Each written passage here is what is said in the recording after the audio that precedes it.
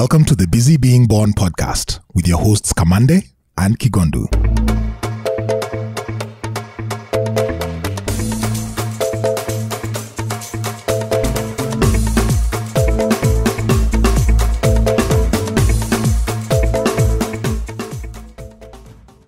You go? We go. Yeah, Ah, man, yeah, how are you, bro? I am alright, I am alright. Why didn't you buy your orange t-shirt? Eh, kwa sababu I have a choice of taking whatever I did. Why didn't you? Bro, but oh good. Blue All good. looks dope on yellow. It does, it does, and you're looking great. Very good to see you. Maze, najua hiyo pia ni kusema you're looking good as well. Sawa. Okay. You say it. You You, you're never explicit with your compliments of how I look. Uh, what do you mean, bro? I tell you all the time how good looking you are. And I say thank you. and I look away, Nico, awkward. Yeah, yeah, you as well. Nacheki them guns are out. The guns are out, man. Yeah, The working are out, eh? Yeah, yeah. Hey, Sana, I'm my back is great. My knee Yeah. issues are almost done. so, Yeah. yeah. Hey, Maze, if you if you're wondering what we are talking about, Rudy Skiza episode 19, episode 15. This guy struggled throughout a season, but all is well. with All him. is well. We are grateful. Ladies and gentlemen, welcome to the Busy Being Born podcast. If you're listening to us on whatever app, uh-uh, in fact, preferably, if you're listening to us on our website, where when you're the one we are celebrating the That is most. true. But also find us on Spotify, find us on Apple Podcasts, and wherever it is that you consume or listen to your podcast, your preferred applications. For sure, for Yeah. sure. So, ladies Twende. and gentlemen, twende kazi. Welcome. Welcome. This episode is brought to you by Funke Science. Funke Science is an education technology company striving to ensure that kinesthetic learning is incorporated into cognitive learning at a young age through creative experimentation. Funke Science delivers creative science experiments via online classes, um, camps, clubs, and events with the aim of encouraging students to love and practice science. The direct beneficiaries of Funke Science are school going children of ages between 5 and 13. So if you have a 5 to 13 year old and you think they'd love science, then Funke Science is a place for you. Um, the experiments are interactive and encourage children to ask all sorts of questions about science and also to participate in a wide variety of experiments. Through these experiments, um, they teach children the value of science in their day to day lives and that science is not only manageable, but very easy and fun. So that's the fun in Funke Science. Uh, the experiments are tailored towards providing children with the necessary information and interest that they will require to pursue science based careers later in their lives. The experiments are simple and use common material that can um, that is available uh, at the household in household and everyone can identify with. And um, uh, in addition to the Funke Science kits, they are they have a Funke Science science fest this 2022. Oh, Um, yeah? yeah? so that's running between 5th and 16th of December um, at uh, Fairmile School on Waiyaki Way. So if you have a kid between the ages of 5 and 13, please visit um, funkescience.co.ke or write to ask at funkescience.co.ke. Um, you can also call the founder, a good friend of the podcast, at 0728 440834. And really just visit funkescience.co.ke slash events. Funke Science, um, yeah, nurturing the next generation of scientists to solve all these problems, especially, especially climate change. Especially Yeah, climate change yeah. bro why, why didn't you like not read umesoma number yake Number, yake no, no, that's Yeah, that's actually the, that's the- office line that, No, that's i'm just saying felt like you you know the number of it I, I know it. That's not the number. Ah, that's that's the office line. okay, I, I don't don't know all of them. that's what's up Yeah. ladies and gentlemen karibuni sana you know how to tease a brother out uh let's let's do this we have a guest We have a guest. we have a guest We have a guest. should i go in Go, go for it. ask me the questions let's go Um, are they brilliant? are they brilliant Yeah. bro they are more than brilliant Uh, They're phenomenal are they representing the motherland? Ah, yeah, yeah, where do we start? But you'll hear in the stories. Okay. And Representing the motherland on another level. and last but not least, are they busy being born? Definitely busy being born. Ladies and gentlemen. Tell us Ah, more. Wacha niwaeleze story. Ladies and gentlemen, today's guest is a true definition of a Khaleesi. Najua Game of Thrones, Khaleesi, this one.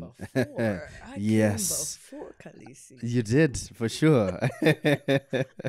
a queen, an artist, a mother, a Kenyan radio and TV legend that very recently made her long awaited theatre and TV comeback on Speak Their Names and Country Queen, respectively. Before that, you probably had listened to her on late night radio, or I definitely did.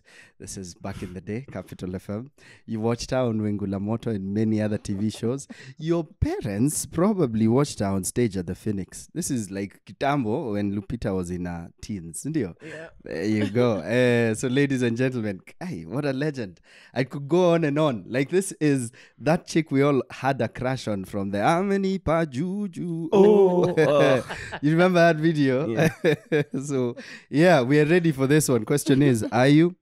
So many have wondered where she's been for a while. Many have wondered the secret to her youth. Many have wondered all that and so much more. And perhaps you'll get to answer that and so much more, of course. But you know what we wonder right here, the busy being born. What has she collected on her way to the top and beyond? What gems has she gathered and can share with us around the arts, around life, around love, around success, failure, fame, etc. etc. So, ladies and gentlemen, without further ado, we give you the one and the only phenomenal. I don't want to say actress, I just want to say a phenomenal actor, phenomenal lady actor, a casting agent, an acting coach, and so many other things you'll discover today. Ladies and gentlemen, we welcome the one and the only Nini Wacera. Ah. Woohoo! Karibu sana. Thank you. Hey, those are accolades, you guys. But thank you ah, Na very much for bado. having mm. me. Like we, we even should have said award winning, Award winning. but hey, it is well. Good to see you. Good to see you too. Pole, getting you out this early out here.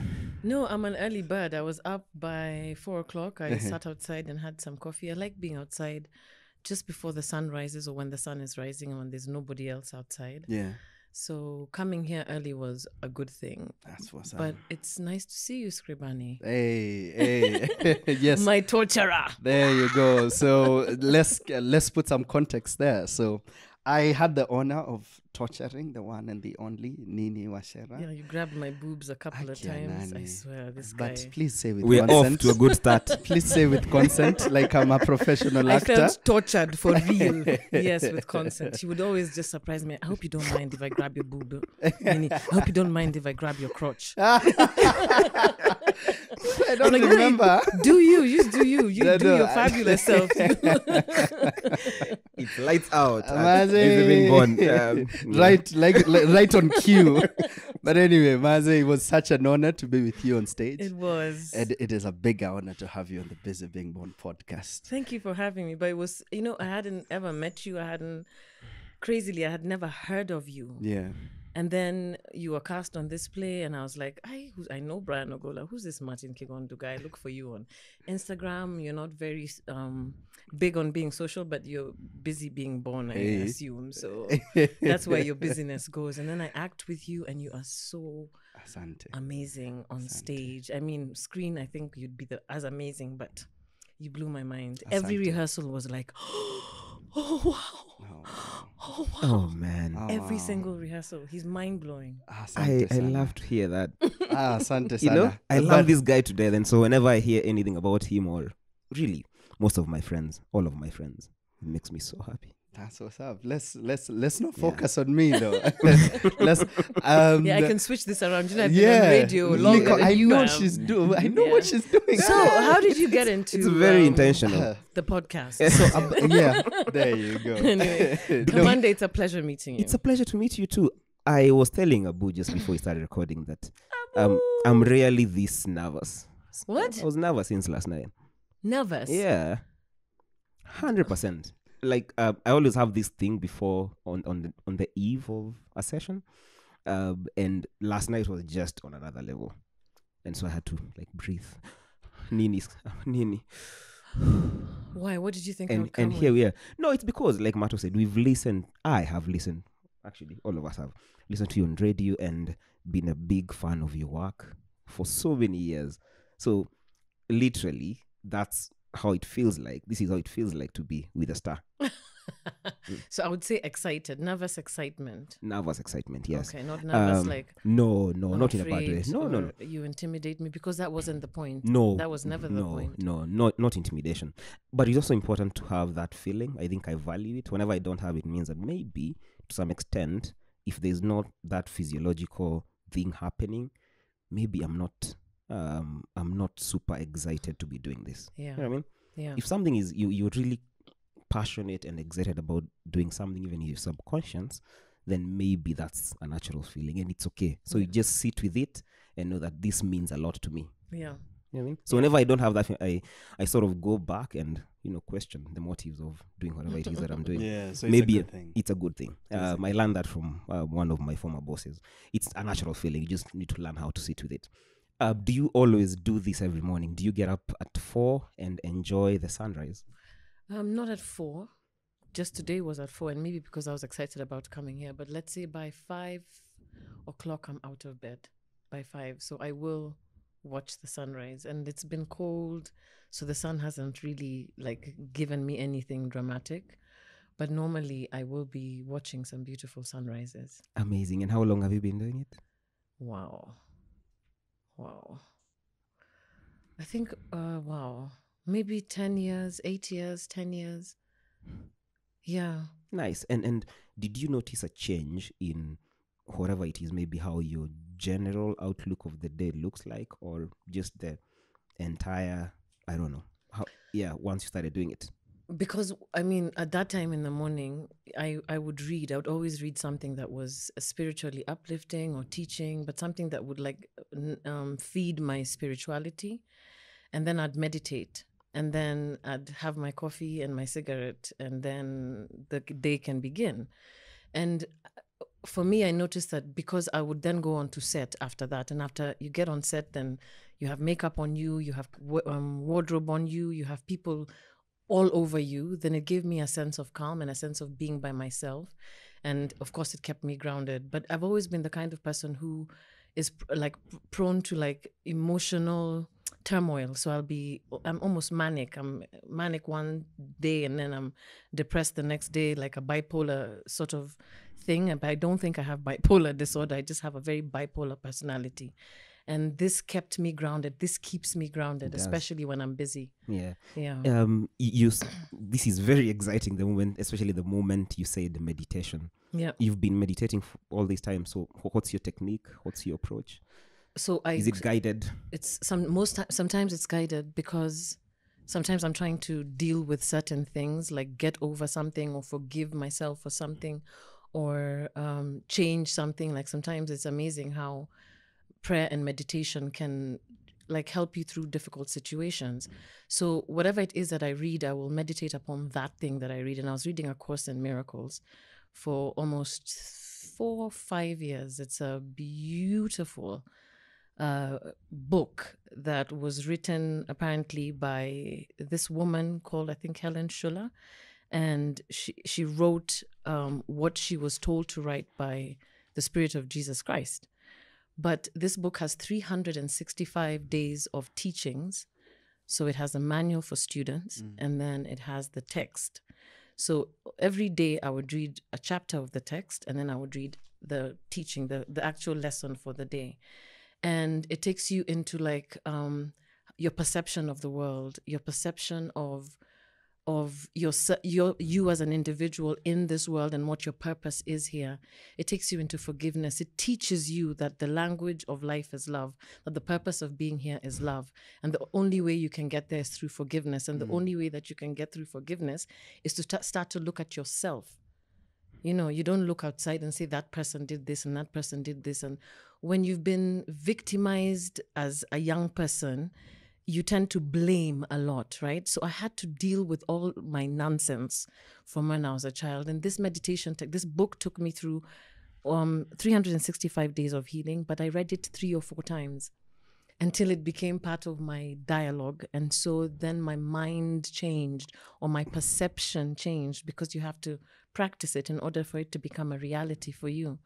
And then I will breathe I will just use a breathing technique. Yeah, breath work. Yeah. and it's not it's i'm the i'm normally the one who will count the breaths and count the breath until i feel like um like my i'm released from within i don't know how to explain it it's really hard to explain what happens when you meditate because it's a very personal thing but then if you're feeling any sort of angst or any sort of turmoil or any sort of confusion you feel that release through that breath work You know how we can explain it? yeah We can we can attach uh, brain scans um, to our podcast notes. Maybe that's the best way to explain the effect of meditation. No, se- seriously, Really? yeah, really.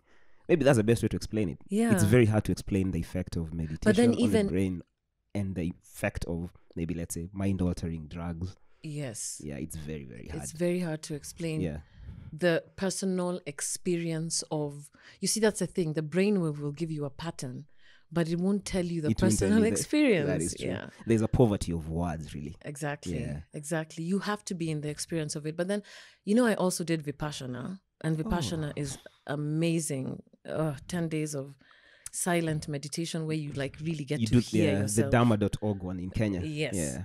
and it's it's uh, the perfect space if you need to just like de- you know decompress and it's free it's free and they feed you so y- even if you're broke you can just sign up and go you buy you know You're good for 10 days You- at least. I- don't know if you'd be good because the meditation is so difficult. It's difficult. The- You know the dropout rate. I was just Oh, yeah. discussing this with a friend.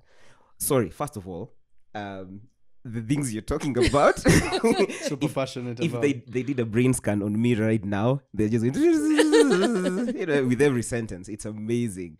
Um, so the dropout rate um, at I think two or three days yes. is really really high. Yeah. Yeah, for the ten day. Like, and this is global, not just in Kenya. And you see it, you know, when you're sitting there in the room where everyone has the meals, especially because you normally tend to sit where, I mean, no, they actually put your name. So you sit where you've sat from the beginning of the meditation. Then you see, Aya, Mary is gone. Aya, Jennifer is gone. Aya. You just start seeing PC people MIA, MIA, MIA, MIA. And I'm not a quitter. As in, things can be so bad, but I'm not a quitter. I always tell myself, if I committed to this thing, then I have to see it through the end because I'll never forgive myself if I quit. I'll just be like, you wimp. Hmm. Tsh, You just ran away from that thing. How dare you call yourself a strong black woman? So I'm really nasty with myself. So I don't quit. It was the most difficult 10 days of my life. But at about day eight, you just get into this like um, Zen space where you're with yourself and you're totally okay with the noise. You've learned how to dis- either dissociate from the noise or like not be affected internally by the talking that goes on. I don't know if everyone has this voice in their head. Everyone has a narrator voice. Everyone. Everyone has it. yeah. I mean, the, the idea of meditation is to really step back and listen to it and see it come Yes. because it's there. It's always going to be there, and it's really a thought. I think it's nothing else. It's, Yeah, it's, it's or just a like thought. It's the language that you've been taught to speak It's to language, yourself yes, in. Yeah, because sometimes when I hear the things I say to myself, I'm like, who the hell would talk to, hmm. To even I wouldn't talk to my friend like this. Like I wouldn't have a friend if they spoke to me like this, and here I am. Look at you, shameless being. I'm like, hiya, hiya. yeah. Who said that? Mm. So that voice, you start to be okay, and when you start to be okay with it, she sort of sort of dissipates. When you start to be like, I, I don't want you there, I don't want, and that's what vipassana teaches you, just to be unaffected.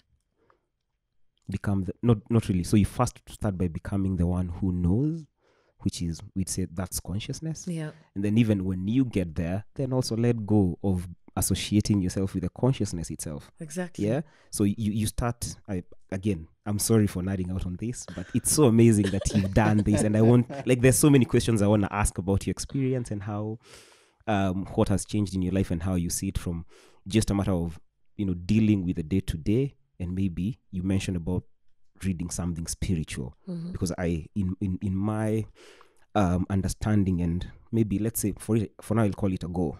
The goal of all these practices is not just to be calm in the moment. It's actually spiritual enlightenment and to know that it's possible maybe that should be the goal and then at some point you also let let go of that goal uh, so i have questions on that but um, coming back to the idea of vipassana and amazing, uh, the amazing description you've given it. So the idea is you recognize everything as either the five aggregates, we might call them that. So there are thoughts, there's form, there's perception, um, there is m- m- uh, volitional creations in the mind, which would be maybe, um, yeah, let's call them volitional um, appearances of thought in the mind. Then lastly, there is consciousness. So you let go of everything, recognizing that that is neither mine nor I. Right? And Yeah. in the end, you also let go of consciousness. So what are we talking about, which is like, you know, being aware of everything that's happening. And first of all, being the one who knows, and then Yeah. eventually, and I could be butchering this. Like if a teacher had me, like let's let's say Goenkaji or whoever had me t- talking, they'd say, "Ah, you're butchering the teachings." But I think that's that's the whole the the, the, whole, the whole path. I let Kigondu ask a few questions No, bef- before I go on Ah, no, you could. You because could. I you know go, I don't I mind. I you could know I don't go mind. on. Um, when did you do the the ten day retreat? Um, I think it was 26, 2016 or 2017. Yeah, I'm so bad at remembering the years when I did shit, by the way. But I think around there. yeah. And and what was the biggest change, if any, uh, that you witnessed once you got out? So what was? Are there things that are still integrated into your day to day? I mean, I feel like there's like triggers that I became very aware of. I became very aware of what it is that triggers me into cycles of depression, right? And I became very aware of the stories that I tell myself that then become my truth. And so what changed is like this ability to like look at yourself and look at your thoughts and dissociate yourself, the I, from that that part of That's your just a thoughts. story. Exactly, it's just a freaking story. It's and it's not the truth. And to constantly be asking, is that the truth? Is that the truth? Yeah. So this happened because of X, Y, Z. Like, and always when you feel victimized, like I was sexually molested at a very young age, and I thought it was because I had taken myself to him. You know, he told me come, I went to him, and I kept going back to him, and he kept molesting me. But I was like seven years old, and I was blaming myself for that. And the- Vipassana taught me to like really look at that story, that narrative. Like, okay, you've raised a seven year old child. Do you think she would know what she's taking herself to? So, why is it that you're being hard on yourself? So, that's not a truth. That's not a truth. But then the voice in your head has made it such a truth that you believed all, all the things it says you've believed it. But without Vipassana, I don't think I would have noticed that this voice existed. Because at some point I was like, who's talking to me? Like, like that. Because you hear it. There's, you know, you don't speak to anyone in, in, in Vipassana. You don't have a conversation with a single person. You don't journal. You don't have your phone. You sit amongst people. You can't even walk fast at it to release energy. It, you have to be in a very calm state of mind. And people are mumbling to themselves. People are laughing. Other people are crying. Other people are sitting and like just staring into the nothingness. Um, peop some people look like they're in like with Buddha on the clouds, you know. and there's a way that you have to like sit with yourself and then recognize. I thought I was crazy. I was like, I'm hearing these people talking to me in my brain. But then when I was living in Nairobi, just doing my life, I didn't know that that voice was there. So Vipassana made me very aware of my crazy voices. And that's the most important thing, the, the, the mindfulness of everything that's happening Ex- around and I you. think from that awareness comes everything else. Like if you just keep that awareness, you might not like um I don't know, sometimes I wonder. It's like a friend of mine said that this um idea of previous lives or other dimensions has replaced the thought of the afterlife or the, the belief in the afterlife. It's become the new so, you know, we used to believe that when you die, you go to heaven. If you're good and if you're bad, you go to hell.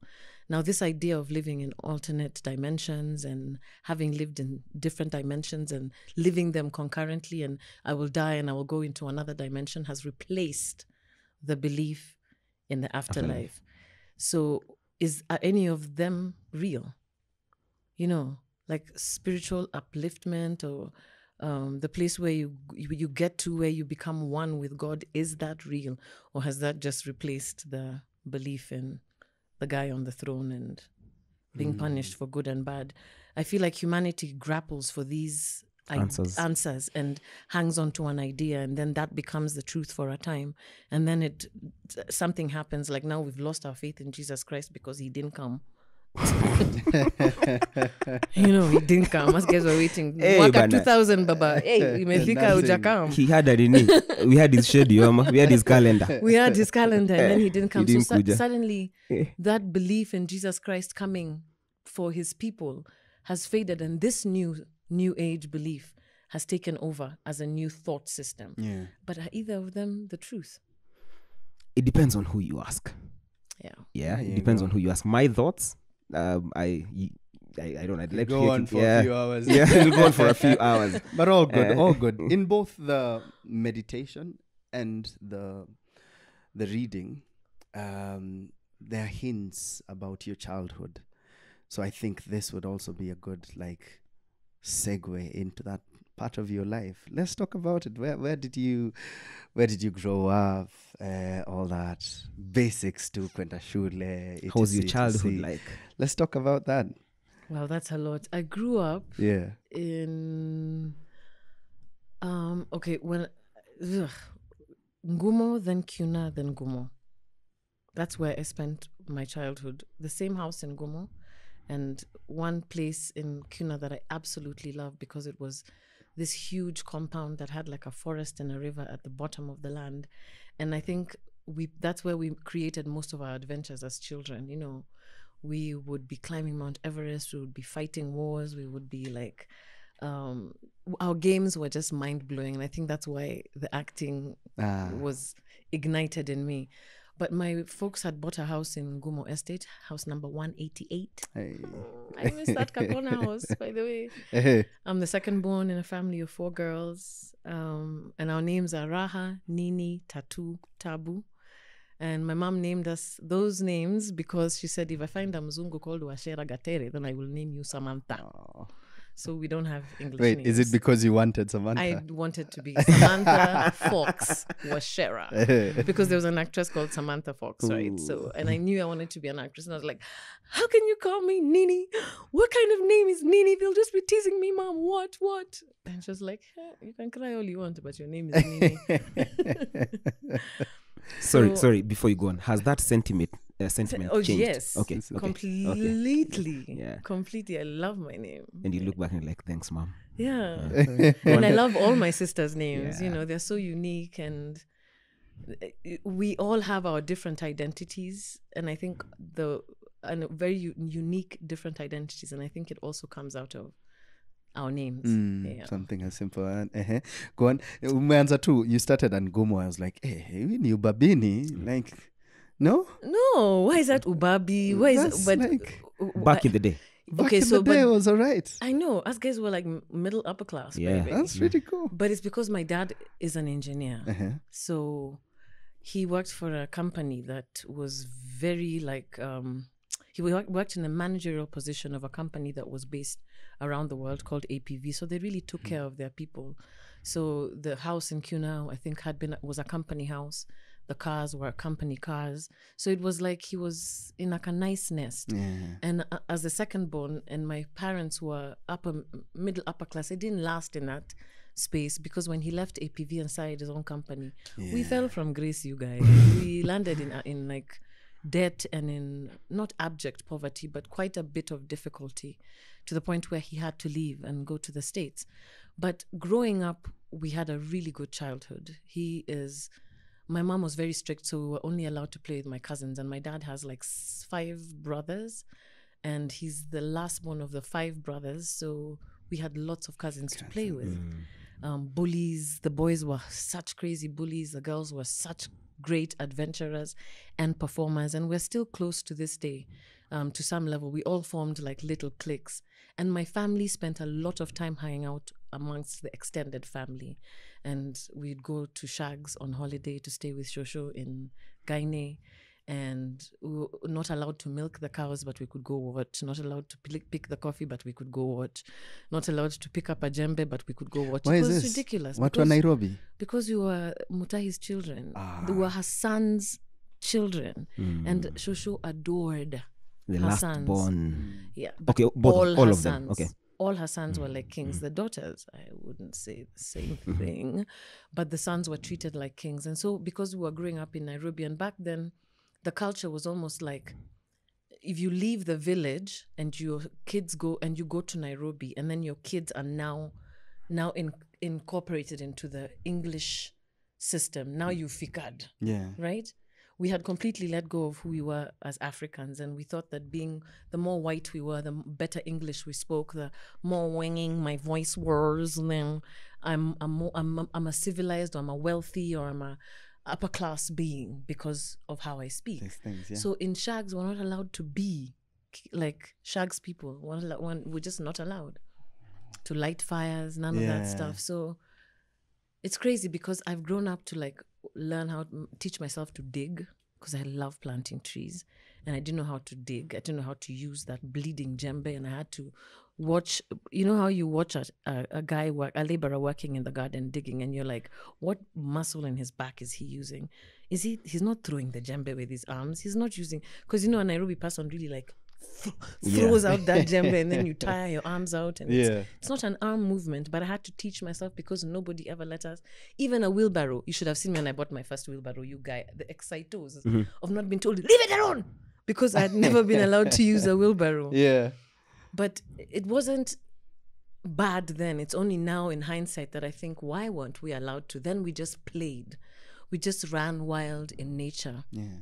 we lived in wild open spaces so i grew up with grass and trees and my mom is a, has a green thumb and she, she was a, a homemaker so she was always home but there's even if your parent is home there's also trouble that still comes into your life so unfortunately my older sister and i got molested by the same guy who was our shamba boy when we were seven and eight respectively and we never told my mother and then we left Kuna and moved back to Nguma when my dad had left APV and he had started his own company. Nguma was the house we, they had bought.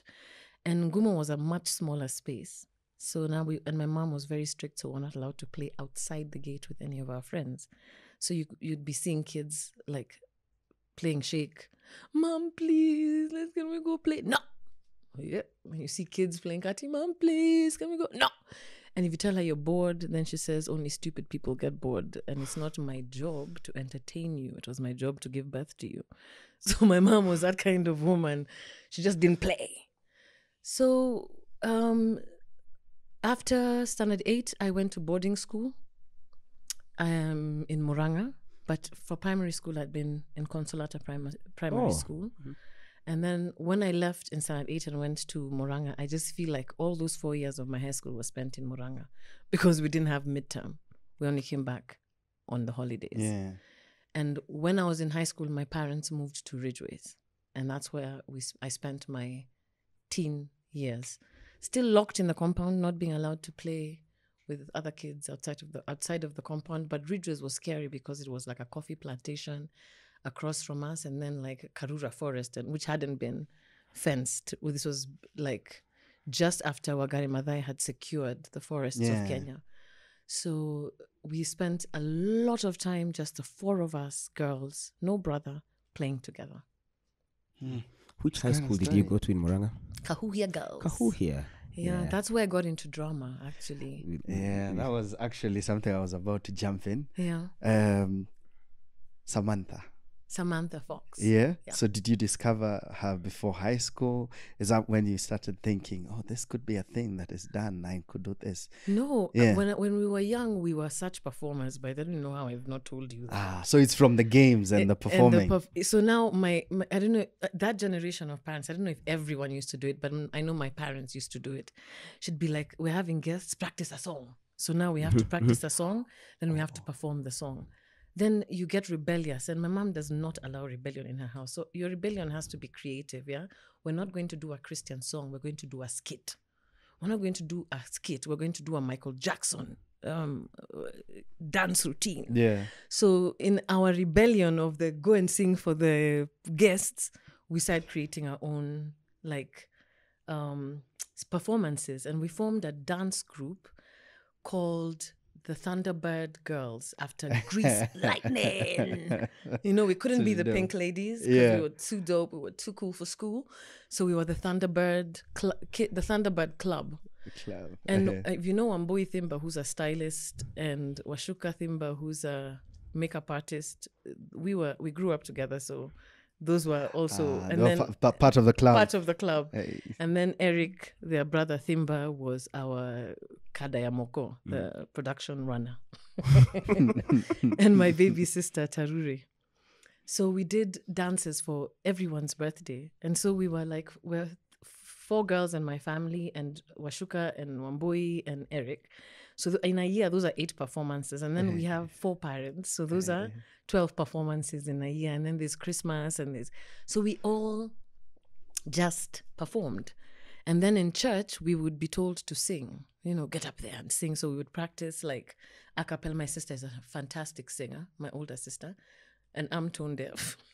it's so crazy because I didn't realize that until much later. She'd be so irritated as you're trying to teach me, this is your voice. And then if I hear you singing, I go to your voice. Yeah, yeah. so we spent a lot of time performing in church and also for parties. And I think by the time I was, when my mom named me Nini when I was um, uh, eight years old, and I knew then that I wanted to be called Samantha Fox, and I knew then that I wanted to be an actor.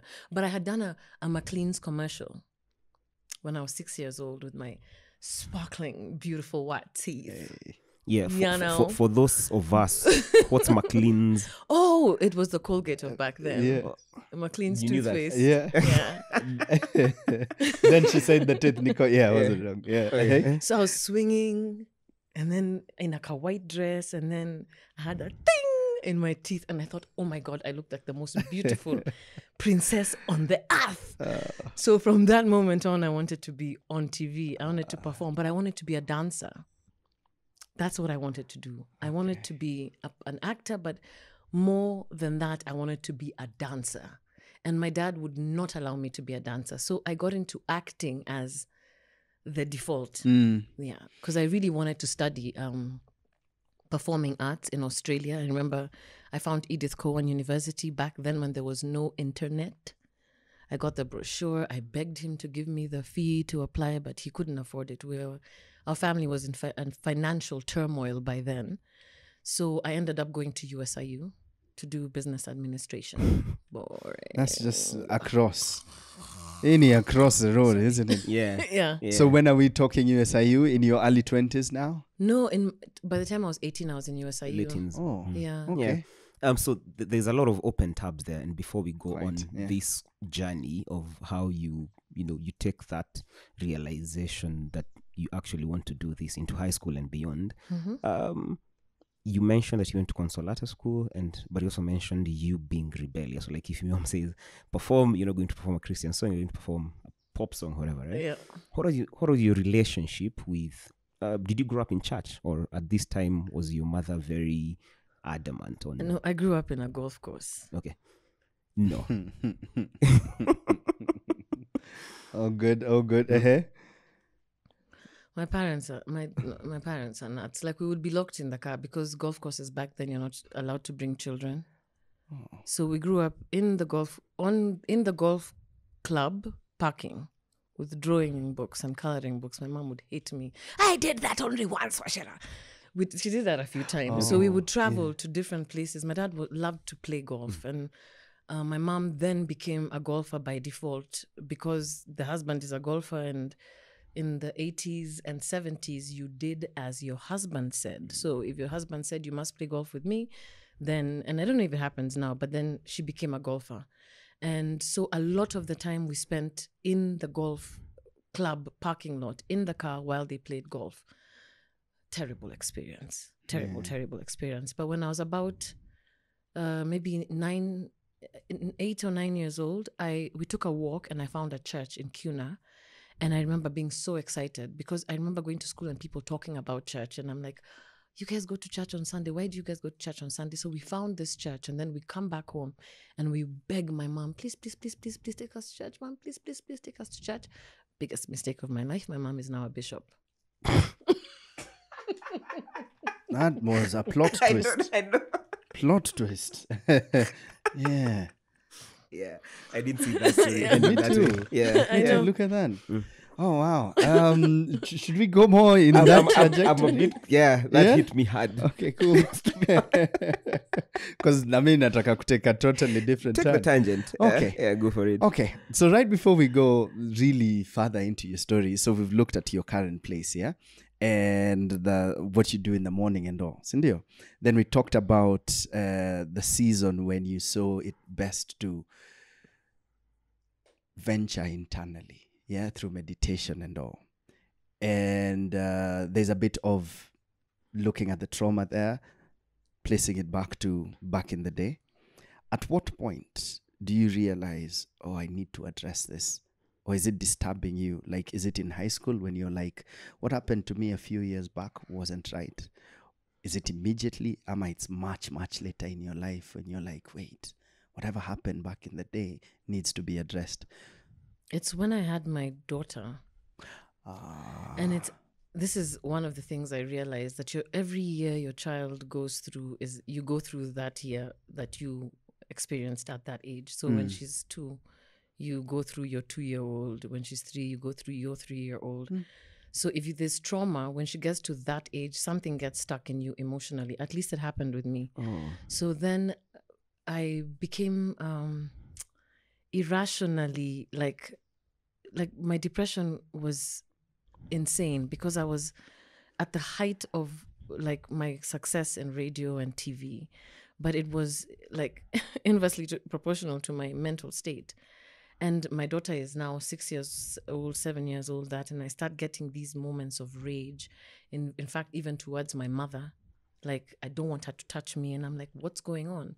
So then I seek therapy, and then during the therapy we get to this place where there's something that happened in this period of time and my sister has like a memory of an elephant but she doesn't volunteer the information unless you now go and Mogeshi, what happened so i can call her now and i say what happened at this time at this place and she's like this and this and this and this and this happened so then she explained to me what happened to me to us and then over the years i've had more and more re- recalling of the incident Hmm. so like I recall like I was planting a garden with beans. I loved the soil.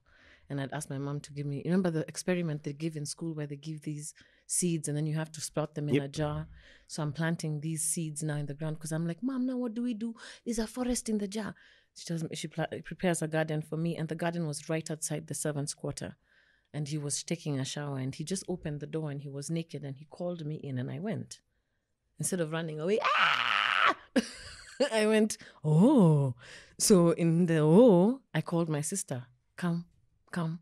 And then whatever happened, happened. And then it, I would wait for my mom to go to go. Then I would go to him in the evening. Or I'd wait for that time right after supper before bedtime when mom is watching TV and everyone else is like distracted and then I'd go. So I kept going back and my sister's one who stopped. And shit happened, but then I forgot about it completely. So now I'm asking my sister is when now she explained to me. And then I got started getting the memory of the number of times I kept going back to him. Have to. So, the, as the parent of a six year old, I realized that I needed to start dealing with my trauma. Um, mental health has started becoming something that we were more and more aware of. And I was working on radio, so I was doing late night capital, and I was able to delve into a lot of these topics um, just based on the talk radio show that I was doing at the time. Then I did a course in counseling and psychology at Amani Counseling Center because I felt that I needed the the tools to be able to speak to my audience while I was on radio. And through that process, and also through now the therapy I received, there's been a huge, a tremendous um, amount of healing that has has occurred. Yes. Yeah, and of course through the meditation. Yeah. Yeah. Yeah, it's beautiful to to hear there is healing. The event's definitely unfortunate. Yes. Um, it's a busy Being Born podcast. Uh, so yeah, we we sort of find lessons even when like we get moments and seasons. No, it's the the the, the silence and all is fine. Um, but I know maybe it's not my place to say this, but uh, masculine energy for me feels like I also need to say I'm sorry. Yeah, pole, pole for what happened. So let's go to high school. Is this there? Like, is it totally blocked? Ama sasa ni drama, and let's go. If it is, let's jump into you getting into drama. So in high school, okay, remember I don't remember any of this stuff, right? Yes. So this is not even a story that I'm carrying in my mind. Yeah, till I'm later just in life. still later in life. Yeah. So at this point, they had thrown me. This is how I. This is my story goes like this. My traumatic story goes like this. I didn't do well in KCP, and actually, I got. I think what was four, not four twenty three. Four ten, and I think it was out of five hundred or six hundred, and I was called Tungara Girls, and mom did not want me to go Tungara Girls, so she took me to Kahuhia Girls, which was like the Kenya High of Muranga. But I had this strict upbringing where I wasn't allowed to leave the compound to go play with friends, to go spend the night at anyone's friend, at anyone's house. To so I'd never left home. I'd never been away from my my people. I'd never slept maybe in one cousin's house one night out of the the year that Christmas night because the folks got drunk, you know. So now for the first time I'm alone. Mm-hmm. But it's also like for the first time you have like the ability to make decisions for yourself which is now the pleasure of high school. so I wanted to be in everything. I wanted to play basketball because I had the height. And then I wanted to be in the drama club because of trips, right? So you're just trying any way just to get on a trip. So I started playing basketball. And then basketball, you have to do like the long distance running mm-hmm. and all that The sprints. Yeah. shit that's just not fun. I just want to I just want to go for the trips. you know? Yeah. So while basketball training was happening, the drama festivals are happening the same time. This was Remember? faster. Yeah, faster. So then we were told to choose. You can't be in basketball and drama at the same time. So then I chose drama just because it had easier hours. You don't have to wake up at four o'clock to go cr- ro- cross country. But I would still be in the drum, uh, the basketball extended team. So I'd still go for the trips when drama was not happening.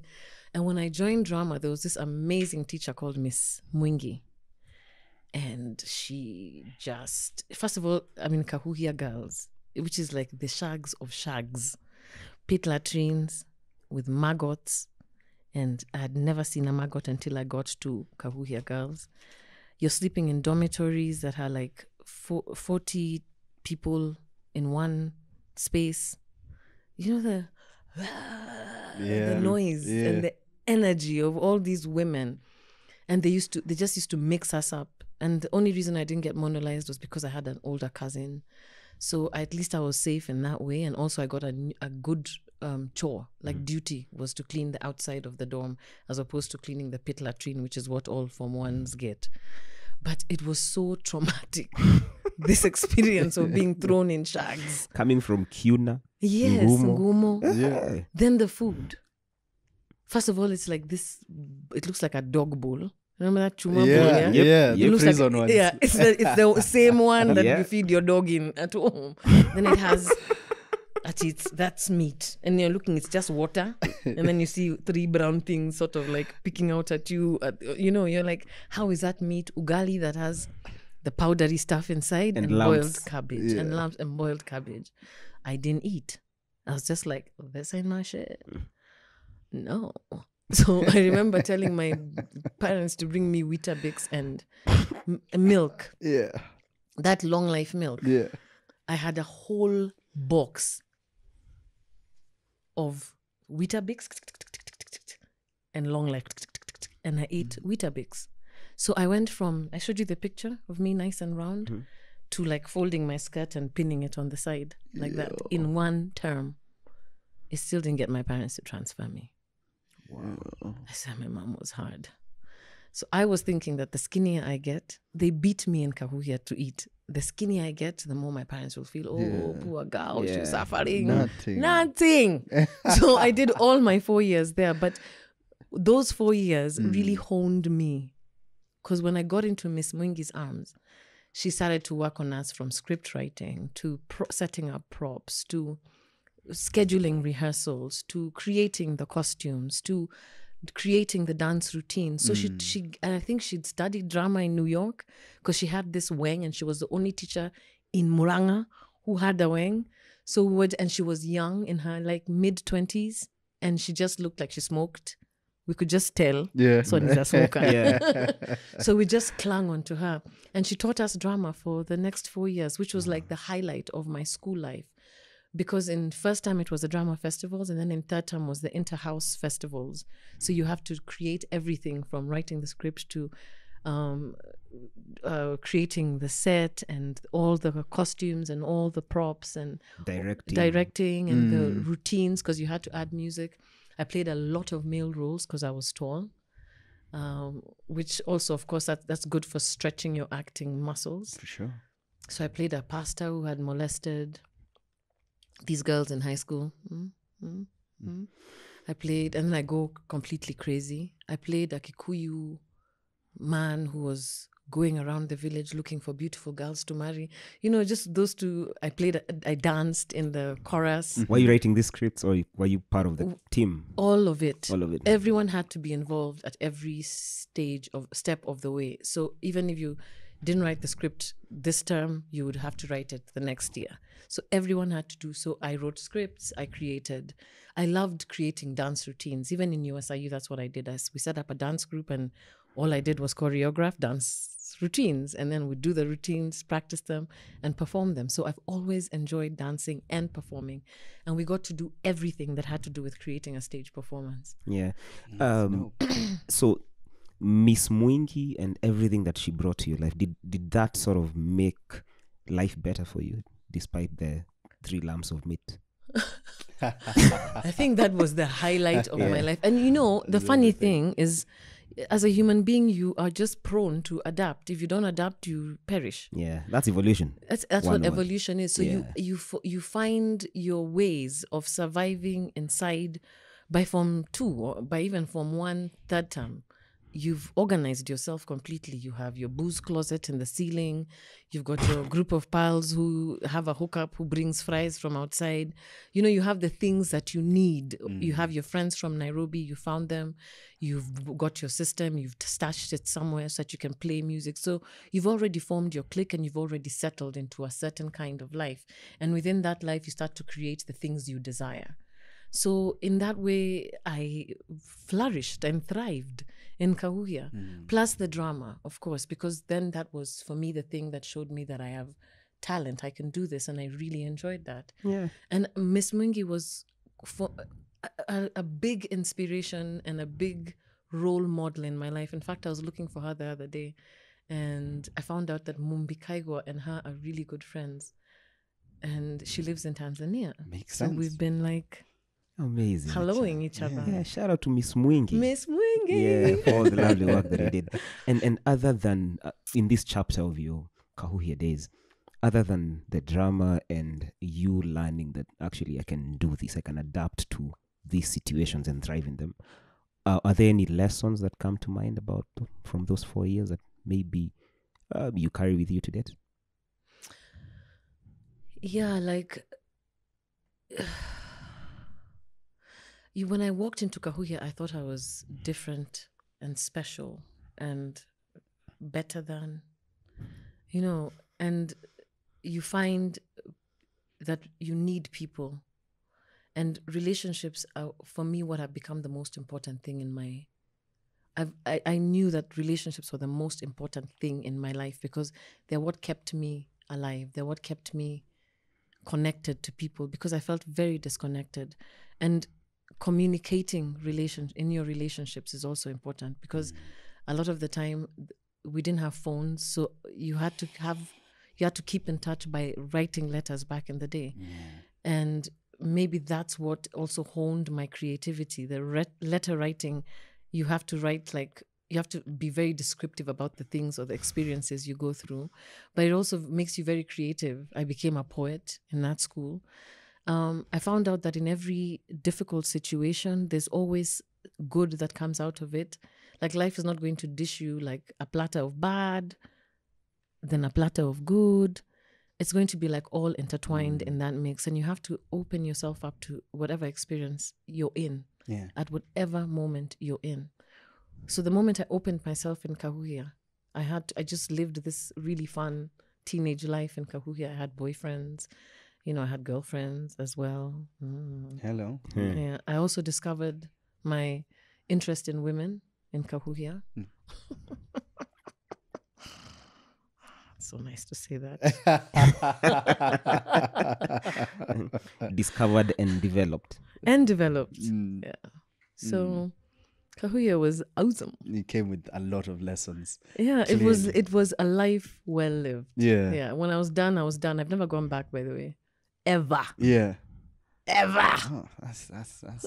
Anyway, it's a beautiful season. Clearly, despite everything. Um, so um, we are now at uh, 18, 19, 20, right? Yeah. Uh, so do we shift immediately into like the campo days? Um, uh, are we thinking, ah, what to do with life? What, what's going on around 18, 19, 20? So I finished um just be- one month shy of my 18th birthday. Yeah. And I just wanted to do performing arts. I just want to do theater arts. I want to do drama. This is what I want to study. There's nowhere to study it unless you get called to Nairobi Uni. And even Nairobi Uni, I didn't even I didn't even think it was a degree. I think it was just a, a like one of the courses that they offered. Like, but it wasn't. There wasn't. Was I don't know if there was a degree in theater arts. I didn't pass to be called to Nairobi University. So then my dad was going through like um like he was in debt they were not telling us that we were financially in trouble. You know how parents just never used to give you any information. And my dad couldn't afford to take me to Australia to study at Edith Cowan, What you wanted, yeah. which is what I really, really, really, really, really, really wanted to do. And he sees sense in me studying business because I can start a business. Yeah. I've never started a business in my freaking life, you know? So the compromise is that because I wanted to dance for Safari Cats, I was like, when I got to USIU, I found out about Safari Cats at Safari Park, and I was like, oh my god, I want to audition for Safari Cats. And my dad was like, you are not gonna go on stage with half your fucking thigh out for the world to see. Mm-hmm. So he sees an advert for the Phoenix Players, and he's oh, Wacera, Wacera, Wacera, it's the theater. Go on audition here. Yeah. So I go for the audition, and James Falkland and J- George Mongai are there, all like Englishified Hello. and class. And you know, they audition uh, um, a huge bunch of us, and I got yeah. in. Yeah. Let's put a timestamp here. Yeah. When are we talking? Are we talking 1996. 96? Because I cleared cool. in 95. This is 96. Okay.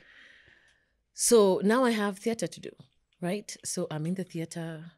We're practicing from the moment where this was like in April. Mhm.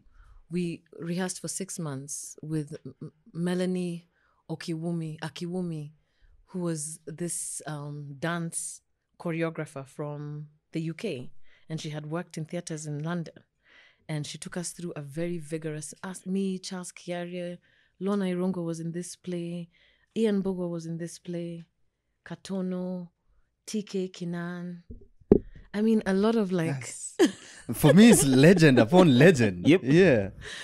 So we did this. It we rehearsed for six months, and then we did two months of this musical, Joseph and the Amazing Technicolor Dreamcoat. And it was just like Speak Their Names, where I had to play a multiple of characters. And then I was also Lorna Irungu's understudy. Uh, and unfortunately, she had an attack of lupus because she had lupus at the time. So then I had to get on stage for a speaking role, which is almost impossible at Phoenix for your first play. That's why you do the musical, so you can be a chorus girl hmm. and play without lines. And then now maybe they'll give you one, two lines. But now I had this whole character to prepare. And of course, that propelled me to another level of acting because now it's not just singing and dancing, it's also performing a character. So after that, I did uh, Dedan Kimathi and then the, the Ambassador's Mistress, I think that's what it's called. And then All Girls Together. All girls together. All Girls Together. Look at that. Phoenix. Yeah. Yeah. Let's talk about this season. You've just mentioned stars, Maze. We can't just we Just- can't just roll over that I and keep going. Um I know. you're now on the spotlight, yeah? Mhm. A leading role. Um, uh, oh, yeah, okay. or at least a speaking role. a speaking role. Let's do the a window, leading please. role because if it was Lorna Irungu's role, then that was a leading freaking role because Lorna was the star. She was the now the Nini Wacera of now those days. yeah. So uh, uh, I'm the Lorna Irungu of nowadays. Let me say that. Hey, So she, it was like, oh my god, oh my god, oh my god. You know, if you met Jimmy Gathu or Lorna, it was like, oh my god, oh my god, oh my god, like that. So it was a leading role. It was, and it was quite intimidating because to play after, like, I can imagine how intimidating it would be for a new actress to have to play for me as Franchetta. Oh, Nini, come. You are understudy, play Franchetta. Like, oh my God, I can't do it like that. You know, so I questioned every aspect of myself as an actor. I didn't think I could act, but I had a fantastic director, James Falkland and George Mongai as well. And, you know, they were all about like self believing in yourself as a performer and building that belief so that even if you don't get an applause or even if you don't get the accolades and you don't get the money and you don't get the recognition you as a performer know that you are good. And that's what they that's what they built. That's what they developed technique and skill. so that you know what you're doing when you're there you know and i performed and i freaking loved it Oh man. Oh man, I love it. Especially because I see how all these uh, lessons you guys were given sort of trickled down to us. yeah So maybe we wouldn't have been taught as directly as you guys, but working with you and like the uh, GMs and all, Yeah. oh man, they're still giving us these notes. That's beautiful. That's beautiful. So Saizi to call early 20s. yes How is how is you walking around Nairobi and hopefully people going, I know you from somewhere. How are you taking all this no in? no no not yet Not, Not yet, yet. okay. Oh, I was still like just a girl in Nairobi. Ah, you know, just to be a girl in Nairobi. I miss that sometimes. Just be a girl in Nairobi, just doing my thing. So now I'm in USIU. I'm wearing my tumbo cuts, my mini skirts. You know, I'm fighting with my dad about I want to go to the club. I want to party. Charisma gave me the opportunity to go to the club because we started performing in clubs. My dad fucking hated that so much because he was like, "You're going to meet an older man, and you're going to get into trouble." Women in who are dancers are prostitutes. He had all these weird ideas even after he had signed me up to Phoenix. So there was that thing that was happening between my dad and I, where he'd be like, "You're drunk," and I'm not drunk. You're high, and I'm not high. But this, it's the high of the performance. You know that buzz that you leave Ah, with. Yeah. Then you get into the car and you're like, and your dad has come from a day of work, and he's been drinking in the club. It's a different frequency. It's a different frequency. So him is looking at me and he's thinking you're high on some shit, and me, I'm like, I'm not high. I'm just. The play was so good. The funny thing is, it was like a tug of war. He doesn't want it for me, but he, I want it, so he wants what I want for myself. You know, it's like like, okay, take it, but he doesn't want this kind of life for me because he thinks that. You see, my dad was tho- is those guys who he's afraid of me talking to. Do you understand? Mm. He's that guy. So Wa- see, wow. Oh. so because Yeah. he's that guy, he thinks I'm the girl who's being confused by the guy. So he comes at me with his sh- shit, accusing me of that shit. But it's now in my 40s that I get it. I didn't get it then. Back then, yeah. Then it was like, what's this man talking about? You know, like your eyes are red. Yeah, I had to wash makeup from the Egyptian days. And you know, it was like eyeliner, those days for like, there was only one black eye pencil. I think it was not even Diana, that was like shoe polish. Mm. And then there was no facial cleanser. So we used to use cassons to wash our faces after the show. So you can imagine how red your eyes are after you've washed makeup from your eyes And with then- cassons and cotton Unakaa wool. ukongwai and, and then you Yeah, still and then you still high from You're still high. sort of- Maybe you've had a beer at No- the not- bar yeah because that's what happens when you leave the bar. The, someone will buy you a drink, but a beer, not five. yeah mm. because and also the high of like Of whatever you just talked performance, about yeah exactly. yeah about the performance. So you even now when I when I perform, I can't go straight home and get into bed. I have to have a, a nightcap with even if it's some of the actors or the director. You must have something to switch off. But then you come out and zzz. But I don't have the language to explain that to my dad. My dad is just seeing this high animal in his moti. She must be drunk. So we start having these little tiffs. And so it becomes this tug of war where he wants me to stop this thing that I'm doing because it's just bad. I'm being a bad girl. And the power I learned, the power of your s- words as a father. You will speak upon your child's life the destiny that will be theirs. Because I got into trouble. I met an older guy. I got pregnant. Everything my dad was talking to me about doing, which I wasn't doing, happened. Did. And I'm always like, oh my God, that's my phone. Oh, God. Just That's okay. Yeah. So from there, it was just downhill. It was just like I was on this, and then I just, wow. that's how it felt. Like my life just went south. From what moment? From, the pregnancy moment? From the pregnancy moment. Okay. I met a guy when I was at a club dancing with charisma, and he was an older guy. And let me tell you, if you have girls who are young, you guy, you have not got an opportunity to get away from this guy. The way he just hits on you, you don't have a, you just even like, you don't have a chance to get away. So he just kept coming at me and he kept coming at me and he kept coming at me. And we went off to the coast and he treated me well. Then he turned out to be a violent idiot. So I broke up with him, but now I was pregnant. Then I'm like, okay, I can keep this child. I want to keep this baby. Now I'm, I'm 19 years old, almost 20. I'm going to keep this child. I go and see my doctor. I'm like, he tests me. Um, then he's, I say, I want to keep the child. I see the family doctor. I tell him, don't tell my dad because they play golf together.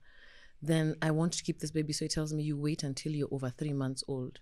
Pregnancy, then you go tell your folks because then you can't have an abortion. An, abortion. Huh, who is my dad? Marry the man who made you pregnant. Because Oh. me, I went and I sat down with them and I responsibly said to them, I want to have this baby. And he was like, No, you're too young. I was too young. You can't have it. This is crazy. You're crazy.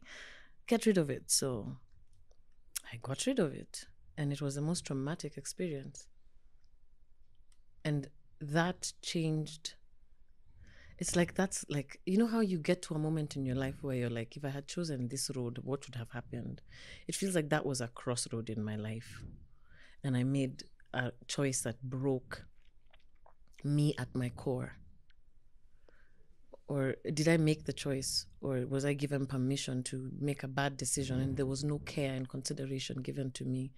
And I think that's where most of the trauma that I have had to deal with, even into adulthood, came from that moment because there, w- we didn't, there was no therapy, there was no communication about what's happening. There was just like, it was just the worst experience of my freaking life.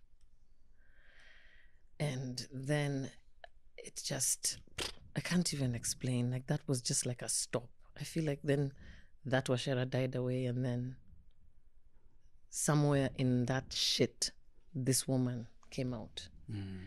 And What's what's this woman like? The woman who's coming out. not coming out the woman who's come out is just like like I've carried this weight Yeah. with me, this pain with me, this heartbreak with me, this anger with me, you know, this like lack of forgiveness for my father, towards my father for what he did. It changed our relationship. It changed my life as well because I left acting. I stopped going to Phoenix. I ran away from home. I went off to Tanzania with this guy and some friends, Sarah Moihaki, Alan Oyugi. We traipsed down to Tanzania to look for greener pastures. Uh, we're looking, we're trying to do our internship because I quit USIU.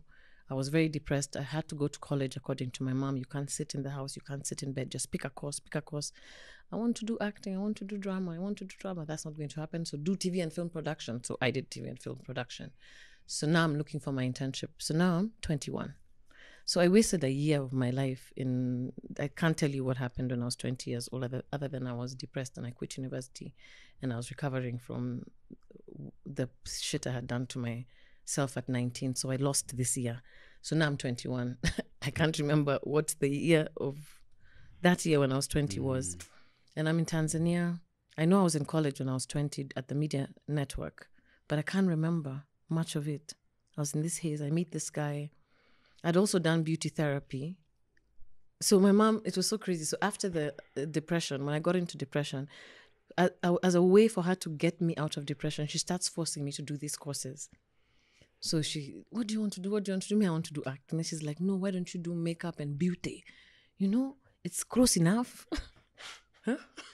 so she signs me up for a six month course at Bodywise, and I start going, and I'm going through. Maybe this is what was happening when I was 20 years old, and then I try working as a beautician. I meet this guy who's a DJ.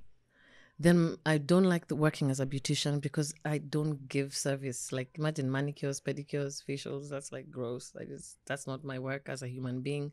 Bless you if you do that job. I was grossed out completely. So now it's like do TV and film production because you can't just be sitting at home doing nothing. So I go and I do TV and film production. So it feels like a lot of my 20s instead of like focusing on this thing that happens where you you blossom and start making decisions about wh- where you planning your life what i want my adulthood to be like what i want to pursue how mm. to save money when i want to move out when that's what 20 year olds are doing i'm recovering from an abortion without any therapy i'm dealing with depression and being told what to do so I didn't guide myself. I just did and did, like going through the motions of doing what your parents say you should do. And so I feel that gap. Even now in my 40s, I feel that loss of of maturity. Like I missed that stage in life. There's a lot of stuff I'm catch I have to I've had to catch up in my 40s that I missed. That when I ask my older sister or my younger sister, but when did you plan when I was in college? When I was in college, me, I was like, huh? Hmm? Me, I don't know what you guys are talking hmm. about. Because me, I was just in recovery and in trauma and in self judgment and self hatred. And so after the TV and film production, my dad and I have not reconciled since the abortion. So it becomes a point I realize I can't stay with this man anymore, and I leave. I go with my I go to Tanzania, but I go with my friends just so I can tell my mom. But I'm going with Sarah and I'm going with Alan, and she's like, okay, fine. Tell me when you get to Dar. These are the days for letters and phone mm. calls. Remember. So I get to Dar and I'm like, fuck you, and I go just having frolicking in the fun of being a free 21 year old girl without my dad telling me what to do, without my mom telling me what to do. Now I can live. And this man was just horrid. Ugh, Washira was just such a terrible choice in life, by the way. I mean, he had no clue what he wanted with his life. He was just a DJ who was just waiting for something to be given to him. So he, and he had a very traumatic childhood. I think he had a very violent father, a drunk father, and he had been abandoned and he had grown up as a relative from Shags with a very rich family. Mm-hmm. So, with that kind of chip on his shoulder and not being recognized, he was very insecure. And now it's me and him pretending we're a couple, like adulting in Tanzania. We have no clue what we're doing. We're living in a servant's quarter. He's DJing, but he's DJing in the shittiest clubs, clubs I can't even go to. Now he gets starts getting rageful and insecure, and he starts getting violent. And then I leave him, and then I go and start living alone, and I have never taken care of myself, and I have no income other than I'm doing my internship at DTV. You have to talk to these producers to get you camera work so that you can be paid a G, mm. so that you can eat. I'm not talking to my parents. I'm not telling anyone how I am. I've literally run away and shut out the world. At some point, I meet another guy. I start dating him. He starts stealing from the company he's working for. I mean, like my choice in men, seriously. Then I break up with this guy who's stealing from his company and go back to the guy who I'd initially come to Tanzania with, Why? Swashira guy. And I get pregnant. So now I'm in double the fucking trouble. I'm like, I can't be pregnant with this guy. We live in an SQ. I've had a pretty good upbringing. Me, this guy will take me nowhere. You know how something happens where you're just given brains suddenly by God. The child comes, you're given brains. Tubu. Started thinking about these things like, how will I raise a child with this guy? How will I live with this guy? Maybe, sorry, maybe that's the sahani that comes with the baby. yeah, that is the sahani. My mom says it's this protective shield that just like God and the angel just put this protective shield around you. Because let me tell you, I was the most joyous pregnant woman I've like I was at my happiest. But I had to leave him. This guy, I had to find a way to leave him. And at this point, he's taken my travel documents. He's just being a downright a hole. And I'm pregnant, so I'm not the same person. I can't stand his smell. He's getting more and more insecure. He's getting more and more violent. I managed to f- somehow manipulate the situation where he has he couldn't let me come to Nairobi alone. I think he knew that I was going to leave him. Mm. So he brings me to Nairobi and he sort of imprisons me in his friend's house. And it was a very weird situation because he took me to a girlfriend who has kids. So she's a single mom. So how she summed the situation, she quickly locked me in the room, kicked him out of her house, gave me 20 bob, told me, go to your mother. I took him out and I went home. I've not been seen at home for like one and a half years at this point. Hmm. Yeah? Is the pregnancy visible? No, because it was just like maybe three months Okay. or four months. Hmm. So no. And then you hide you can you know how to Yeah. tent it with clothes, yeah? But I my mother, she was just like, Are you pregnant? It didn't even take her three days by the way. Yeah. She had asked me. So Hash just said, You can stay here, but when that baby is born, you must find work. You must provide for your own baby, but you can live here as long as you want. You always have a roof over your head. You always have food to eat. So it was a very safe space to come back to. And I didn't even tell her what the drama was with Washira. It was a most amazing pregnancy. Most peaceful time of my life, most joyful time of my life. Like I felt just zen. Then I had my daughter. Then I had to look for a way to make a living. So I went, What do you do? What do you do? What do you do in Nairobi? You just go back to where you started. So I went to the what you know. Phoenix. Mm. And that's when I did Dedan Kimathi and All Girls Together back to back. So there was a huge gap. And then I also auditioned for Dangerous Affair and got into my first movie. There you go. Yeah. That's when I got onto screen. Yeah. And it came out of necessity. I'm a single parent. This is one thing I know. So I'm just going to go back to the thing I know. hmm Yeah. Mm. A couple of things.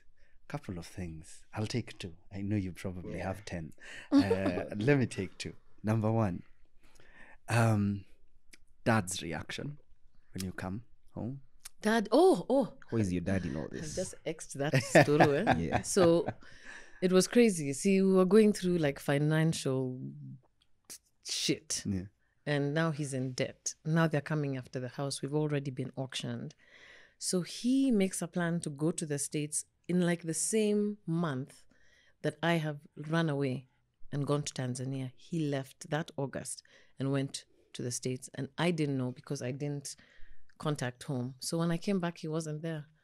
For Freedom! That's how I was allowed to keep my baby. Yeah. Do you do you think in some way this has softened your mom's heart? I mean, I think age softens a person's heart. Ah. Just, but also, I feel like you start to see your, even you as, as a young parent, you will start to change your parenting technique or tactics based on the child's response. You see, you give birth to a person. This person is not empty. They're a full human being when they're born and they have a personality. Hmm. So you might start off spanking your kid, then you realize, I this kid can't be spanked. This kid is not a kid for being spanked. This kid is a kid for being spoken to. And being punished like go to your room or no playing with a you just read your child, read the response, then you start making you know Yeah, changes yeah. according to the child that you're raising. So that's what happened. Um Yeah. Can, can I tell you a funny story? Yeah. Uh, sorry. I love that because i actually didn't think that that was a thing until I remember that my wife and I, one of the jokes that we make, which is a bit serious, is our kids have like a love language that maybe is pre-built in them. I don't know where that comes from. I, I don't know if we can maybe take out the part of nature versus nurture in- in terms of how, maybe how that develops. But I'm like, maybe at a very tender age, there are some things that are already naturally They're just, uh, yeah. I don't know. they're like they're like they're full beings especially you wait your six month old starts to have an opinion that's different from this other one or starts to say no where this one always Where is said that yes from? Mm. you realize ah yeah this child is already complete you're the one who messes them up. You're the one who comes and you start putting you must you must you must. But when your child comes they come to you you they have their likes they have their dislikes they have their moral compass. They have their value system that's based on them. Because even from a very young age they will tell you what they don't like. They will be uncomfortable. They will want things to be done certain ways. They will have already a personality. That is true. um, how much of that is genetic? And from like a an eastern philosophical point of view how much of that is a reincarnation I know. Mm. I know. Because there are so many similarities when you think about, like, especially in Kikuyu culture with the naming. Yeah. I'm very much like my shosho. But she was alive when I was born. So that's another another thing about do you actually need to die for yourself to be reborn into this same dimension that you're in? maybe that's the gene part maybe there's some encoding that we've not discovered yet in the gene so maybe that maybe that's what would explain the similarities between a person who's alive who's still in this realm and so the similarity between them and someone who's still in the same realm Mm, but then there are so many other things that you can not explain about your kids they, like that's not the mom that's not the grandmother Yeah. that's not grandfather That's just them. who is it? It's them. But then now this maybe that's the element. So if we take that causal part, break it out into two, maybe that's the part that comes from reincarnation. I don't know. These are just wild thoughts. Anyway, but keep going with your Maybe. story. That's actually My, my kid, sorry, um, I, it's a joke. My kid, my firstborn son, his punishment because you, sp- you spoke about it. Even like when you th- maybe sort of like do this threatening thing, which I I, I don't think is, is is enjoyable, but you have to t- sometimes, um, or even sometimes like pinch him, whatever, right? That doesn't get to him. mm, The moment you take away quality time, not with gadgets, with his parents, like go to your room. The guy cries. He's like, this is the end of, Of the, the world, world, of the world to him. yeah. You pinch him, ama you, whatever else, like try any other, you know, stick. work. Yeah. Yeah. any stick, like like uh, yeah, any punishment. none None. of none, of it will work. So and imagine you thought a tactic was this parenting skill you had, Mm. and it's not working on the child you have. Yeah. So I feel like my mom realized This that is a wisdom, yeah. oh, this way of raising didn't work. Let me see how this works. Mm. Let me see if I'm if I'm more loving, if I'm more understanding. So I think the one thing that she dedicated herself to was just being there for us. Like you don't have to be you don't have to believe what I believe, but I think that came out of necessity. Yeah. These are my daughters and this is what they're presenting. So I must love them as they are Yeah.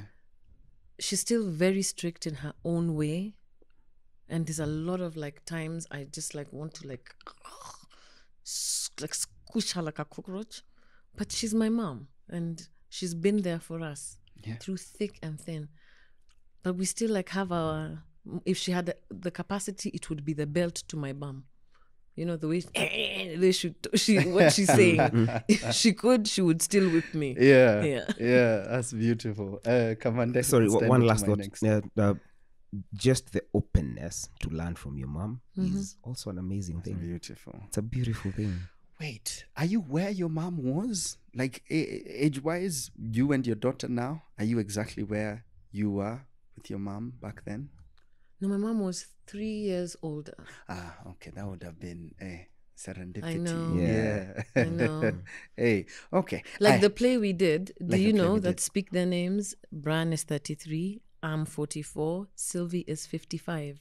holy shit, I'm 33. Oh, Look at that. And we're doing a witches play. Like, Serendipity. I know. Yeah. Like, if you're into numerology, tell us what the fuck that means, man. 44, 33 times 2, then 44, and then 55. Damn. Hey, I, let's keep going with this journey before we sasa venture in any other way. We're here for the stories. We're here for the lessons. Dangerous affairs. Oh, Is this when people start recognizing you on the road? Uh, do many more gigs come after that? Like immediately? Are you Imme- saying no to more? Let's- I mean, let's it- tell us not really no to more, but it's Yeah. more like you know how this industry works. It's almost like when this thing uh, folds, another thing opens, Mm. and it's there's not really like five things open. It's normally just one thing that opens up for you. But what happened with Dangerous Affair is it was hugely successful because of even the marketing strategy, which was let's take these actresses about the town and let them meet their fans, or let's give these actresses the videotapes to go sell the movies themselves. So you meet a lot of your fans. But then there's also a gap there that I've completely forgot. You know, in between uh Dangerous Affair. Had I done Dangerous Affair? I hadn't done Dangerous Affair yet. This was just after I finished breastfeeding. I started baking cookies and muffins and selling them in Nairobi. So I'd bake them at home. I'd take them to town. I'd go office to office, knocking on office doors and selling these cookies and muffins. And I'm this beautiful girl. So, of course, you're going to buy cookies and muffins from me. And I met so many people. Then I got a job as a production manager through that cookie and muffin thing in film studios. Imagine. Mm-hmm. That. And it was just word of mouth. It was like, you have my cookies and muffins. You tell me, go see my friend in Kenyatta on Kenyatta Avenue. I start taking to her, go see my friend in Westlands. I start taking to you, go see my friend in film studios like that What because are the odds? I know Ending up at film studios. ending up at film studios. And ah. remember, I had studied at film studios at Media Network. So now I'm a production manager at film studios. Then I get my first ad, which was Fudge. No, not Fudge. Not my first ad. My hmm, second ad. My 'cause, first ad was Fudge. Was McLean's. Yes. Then there was Fudge when I was 18 years old and I'm pleating my friend's hair. And then this guy pulls up in a kamoti. I don't even know what that called. It used to play at the cinema. then we're like, hey, who's that guy? Who's that guy? I can't remember what, what and then I don't know who gives who chocolate. Yeah, is so I get another ad, a Safaricom ad where I'm sitting on Mudamba's he's my boss and I'm sitting on his lap. Why am I sitting on Odamba's lap? And I think something about the the the topic of the boss and the secretary, they didn't actually ever air that uh, that commercial. yeah. But then I get on into, and that's what I got when I was working for Stevie Price. Then that's how I hear about the audition because once I was in back in the production world, I hook up with Akina, Akina Alex Kamau, Big Ideas. We're doing all these short movies at the time as well, just like Friends, like how you guys are here just doing this stuff, and then mm. suddenly she'll be this big shot director with huge budgets from Hollywood, and she'll be like, "Yo, my girl Nini, I got a story for you. I'm gonna play you twenty million dollars. That's what you're gonna do for me." Mm. Okay, I'm, I'm a bit stoned right now. Oh, good. so, uh-huh. so through those, it's like networking. yeah. So they take we were just hanging out. All right, there's an audition. I go. That's how I got into Dangerous Affair. From Dangerous Affair, I just start calling. I was like, I want to get on radio. I met this amazing journalist called Declan Walsh dancing in a disco, and he saw me and he came to me and he was like, "You're the girl from the film." Hmm. And then we became boyfriend and girlfriend. And then, then as we're boyfriend and girlfriend, he asks me, so, because now I'm, I'm just sitting in the house, twiddling my thumb, waiting for another audition. Then he's like, what else do you want to do apart from acting? I'm like, I want to go on radio. And he's like, why don't you just get a, call all the radio stations and tell them, you're Nini Wacera from the movie Dangerous Affair. Really? You can do that? Yeah. So I call. Hi, John Wilkins. Can I speak to John Wilkins? It's Nini Wacera from the movie Dangerous Affair. I call Kiss. I call Capital Call everyone. call everyone. Kiss finally allowed, not even finally, I was just told come for a voice test like on Saturday. So I go do a voice test. I meet John Wilkins, who's like checking me out, mm, checking out my legs. But anyway, I get a job. Not a job, I get trained as a radio presenter at Kiss Let's timestamp this. What is this? 2002. Yeah, Okay. 2002, right? So now I'm on radio. I've done Dangerous Affair. I get a call from Nation TV. Hey, mi naitwa White uh, nafanya kazi na NTV. Niko na script hapa, ningependa sana usome. Inaitwa Wingu la Moto. Hey. So then we meet and we do a pilot. And it's me, Sarah Muhaki again from Dangerous Affair, mm -hmm. Benta and Esther Kahuha. We go off, we do the pilot. That's in 2002. In 2003, we start filming Wingu la Moto. Takes off. Takes off. And then that's off. where the fame came in. So now double that Wingu la Moto story, which is nationwide with now Capital FM. I mean, Kiss FM, Saturday. I had a Saturday morning show. From there, I get hired by Capital FM to do late night Capital, which was perfect because then my daytimes I can act. And at night, I have a job. And this is the job that's like maintaining the life. And I have to mm. pay for school fees and I have to pay rent and I have to buy food. And so the job pays for that. And then all this other extra money is for the holidays. I didn't even think about investing. But anyway, Yeah. so H- how do you know, if at all, that you want to get into radio? how did I know? Yeah. I, I just thought. You just thought, okay. I was like, what else do I want to do? What else do I want to do? But I'd always wanted to, I'd always loved listening to Capital FM. There was this guy, Phil freaking Matthews, The legend. the bleeding freaking legend. And Farid Kimani, I think, came shortly after that. Was it Farid? Yeah, Farid because when I there for a joined. Farid is an OG like that. eh? yeah, Farid was the then PC, and he was PCing in. He'd, I don't think he liked the job of being PC, and I didn't have the kind of accent that Linda Holt wanted, so that's why I went to Capital because I was just told you you're just too much of a shaggy girl. You can't work for us. So, but Farid said, "You wait, you wait. This management is switching. Come back in a year." And when I came back in a year, Chris Kirubi is was a friend of the family from golfing. So I just went to see my dad's pal. Hi, Uncle Chris. I want a job. Go and tell Somoina she's a new PC. And Somoina was my friend in Capital and was with me at in Consolata. Mm-hmm. Oh. And we had interviewed on the same day. We had gone to see Chris for the different jobs on the same day, and we had met at Java, and we had hey hi hi. So when I went and said I want the late night capital slot, you don't want breakfast? No. You don't want drive? No. I just want the late night capital. Why? I want to talk about relationships. I really wanted to do that, to talk about relationships. There's also a presenter who had left called. How can I forget his name? How can I forget his name? No, no one, no one ever remembers the one who was before Nini. But this is how it'll be. Even me, it'll be like, what was that girl's name? She used to do late night capital. she was so famous. Now I'm dead. This is in 10 years. Let us see. Do- we- we'll, we'll, we'll plug it. Once plug you it. remember, just Yeah, text us. yeah. We'll write it on the show notes. My God. No pressure. No pressure. It's not your fault that you It don't remember. It was. Robert Warubi. Oh, yeah? It oh. was Robert Warubi on late night capital. What the fuck? And I wanted to be the girl version of him. Just like sexy on radio. Mm. Which you are. Which you were. We were listening to this because how old are we? Saizi took around 18? 18, S- yeah. 17, 18. So we are listening Yeah. to you. We're And you're like, Uh, well, me. I know. well, maybe not that. maybe not that, but all good. Especially because for some of us, we, we met the voice, then do you met see that guilty Clearly, laugh? Do you, see that- do you hear that guilty laugh? No, if you know, you know, if I did, I would say it. I know, but I used to get a lot of calls on radio. Like, Um, um, the reason I'm laughing is because I always like talking to like um, creative people and artists. Yeah. You know why? because they they they like they tell a story. Like she did exactly. Hadi akaeka sound whatever. No, no. Most of us actually met the met the met the voice, then the face because we hadn't watched Dangerous Affair Yeah. at 16, 17. So when we watched Wingu la Moto, and go, oh yeah, that's the chick from Capital. yeah. Yeah, yeah. And then oh, my man. character in Wingu was like, I swear, I, I just, I, did, I was such a bad girl.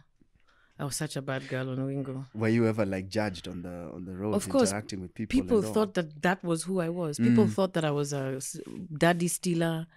I think that I in and I taught an entire generation of girls to for, to to go after older men. Mm. Me, I didn't know that that was going to happen. Like maybe this thing for Ntapata sponsor was based on Suzanne Hello. from Wingu la Moto. we found the you know we found yeah mi nitakuwa kama huyo dem nikiwa mkubwa you know you don't know so if you're not thinking these things you're just thinking it's a hot role i'm just going to do my part Yeah. to the best of my abilities but people thought i was that girl you know i even won baddest girl on tv the Chaguo la Teeniez award Oh snap! A lot is going on. There's yeah. an award like that. Imagine. Yeah, Chaguo la Fanta Teeniez. Chagola Tinis. Yeah, There's an award particular yeah baddest category. girl on tv Yeah, Like even you can't even put was that on your resume. By the way, it's like bad, but how bad? Like good? It's a, like a Razzie. yeah, right. Exactly. Right. Yeah. But yo, If that's you a win, big a, like, if you, do, if you, though. don't win the Razzie, then you won. Do you know that? Yes, If you win the Razzie, then you've lost. Yeah. Yeah. yeah, I get what you mean. Baddest Oh, girl on TV. But I wasn't a bad girl. I was just a girl, just going through the motions of like life and But living. seeing chicks like that on screen, I bl- know. black African chicks. I'm so sorry, girls. That was never my intention. like I didn't even think about. I just thought about it when I was older. I was like, what did that do? Because especially the number of people who in their twenties tell me that they grew up watching me. and then you look at their behavior and you're like, hmm. Ah, maybe I have something to do with that. No, you're following your path. So how long do uh, how long do we do this? The balance, the capital and TV balance.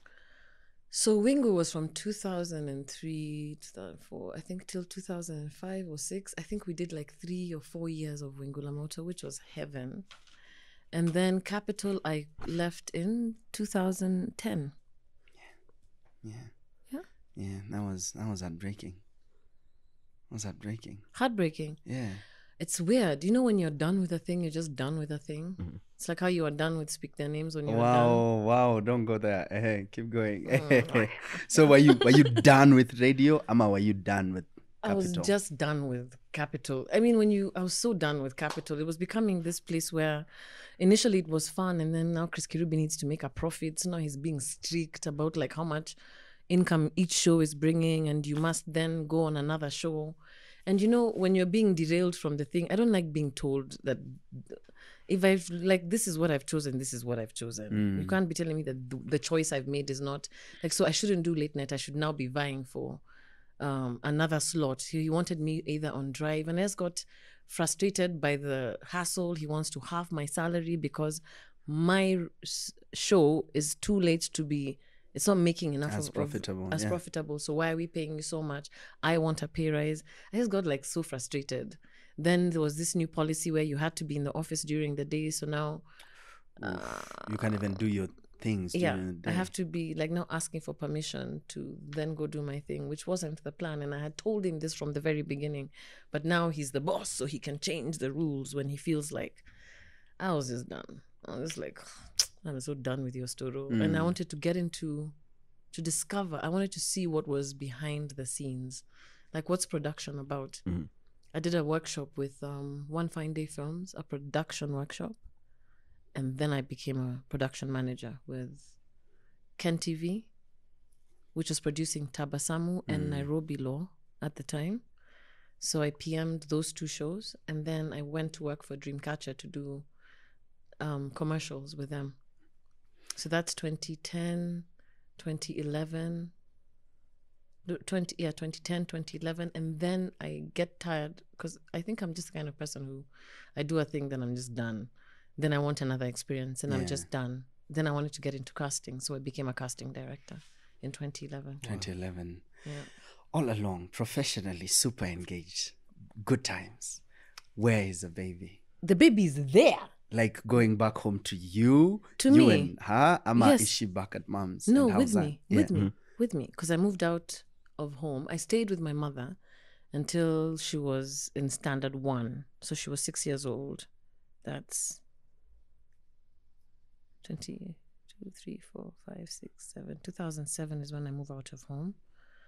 Then I, so we're just living, me and her. But mm-hmm. even even back then, my mom was very clear. Like you just have a roof over your head, but the baby's resp- the responsibility is yours. You can't dump her on your sisters. But of course, I did hmm. many times.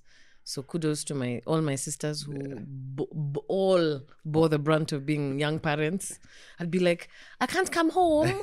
I'm in the club. Please make sure money eats, you know. and there are no cell phones, so these are landlines. Yeah, only if you can find a landline. Or sometimes I just didn't come home, but I was always like the parent. But now the naughty nights, I did the naughty nights. I went clubbing and I didn't like leave my child with a nanny. I left my child with my daughter, uh, my sister, or my mother. yeah But when I moved out now, I had to be quite like now the parent, like the full time parent. So it was just me and her. So she's in school at uh, Rose of Sharon at the time. Um, and she's joined the Sunflower Kids Club because I assumed as an actress, my child will want to be a performer as well. And she hated it. I mean, she loved it as a kid, but hates it now. yeah She's a great actress. But I just like raised her. I was doing the parenting thing of coming home. So I'd do the shoot. I had I used to have these fights with directors or producers because I needed to be home between five and eight or six and eight because I had to have dinner with my daughter because that was the only time I could spend with her. If I'm shooting from morning and working late night, I need at least two hours in the evening with my daughter. And that's what we did, those two hours. And then we'd carpooled with other parents for the morning ride. So there's a house help. She gets up, they make breakfast. Um, then I wake up maybe just to say goodbye. Then I get dressed and I go to work. She goes to school, I go to work, I shoot, or maybe I've left at four in the morning, whatever. Yeah. But she was there, like all my twen- my young twenties. I spent all of my adult years just raising her. So this is actually the first time I've been with her. I've been like a single adult because we're not living together now. She's now much older. And it's very She's, strange. she's above 18. She's 21. That's a big, that's, a woman. That's a woman. yeah. Mm. Or at least in the making of one. Exactly. A young Look woman. that. Look at that. So she was always just part of the life. Yeah. And a lot of the time, unfortunately, you know, you get into relationships as a parent, as a single parent, and then you get out of the relationship, and that sort of destabilizes your child because you thought it was going to be a long term relationship and you introduced her to the guy, and then the guy doesn't, you know, ever come back. Mm. So I feel like my daughter has been disappointed by men all her life. Ah. All her, like her father, Yeah. my father, who was just was never there Mm-hmm. because he just went and never came back to the states. And then her father Wait, didn't to raise her. To date, Okay. Does anyone know about of his whereabouts? of course we do. Ah. He's on Facebook and Instagram, Man, social media. and he also comes home now. Okay. But it, twenty years, he took twenty years 20 for him years. to come to home. come back. Okay. Yeah, and Yeah. he came home, I think, just to like tell us, "Yo, I moved on." So I hope you did too. I hope you guys have moved on too. Yeah. It was quite heartbreaking to lose my dad, by the way. Yeah. I think it's easier if you just disappear, like how my dad just didn't have a dad, than to grow up with this guy and the guy is just like, I've gone to make money to raise my family. And then he's, oh, Yeah. where's my dad? Hi, do you know where my dad is? Uh-huh. And then he comes back like 20 years later, yo guys, what's up? Have you been? With the worm? How you doing? You're Burke. Oh. With the burn. Oh yeah, because he's lived no, out there for a minute. You're... Is is there a bit of you that that gets it? No, me, I just resent him. Okay. And don't be like all Buddha with me, by the way. Umeangalia kamande. Uko don't go there. Don't go there. Let me just have my moment. That's Just hilarious. ideas. Let me just have my They're moment. all just by the way. ideas. Yeah. Hilarious. So that's the dad side. Let's go to the daughter side. Are there things in her that you look at and go, "Oh, shit, this is me"? yeah like she's very um like her when she has set she's just got hard head. When she set her mind you can't change it to something. And then she's very secretive about her life which is very much like me. Like i don't me i don't like like telling people what i'm doing. I just go and i do. Then it'll be like yeah by the way i'm doing this. But i won't be mm. like she doesn't tell me what's going on in her life. I hate that. I wish she could just be like mom my heart is broken or mom i'm falling in love. I have to like tell me, tell me. So that is very much like me because I didn't me also keep shit to myself. And then she's very independent, and she has to be like at the end of her rope for her to call f- or ask for help. Very much like me, very much like my mother. So she's a strong woman, and sometimes I just want my baby back. That I miss mm. my baby. I- It's an actual thing. Do you know that? Like your child is there, but you miss your baby. Do you know that? Like, you just, I wish you were eight years old again. I wish you were 10 years old again.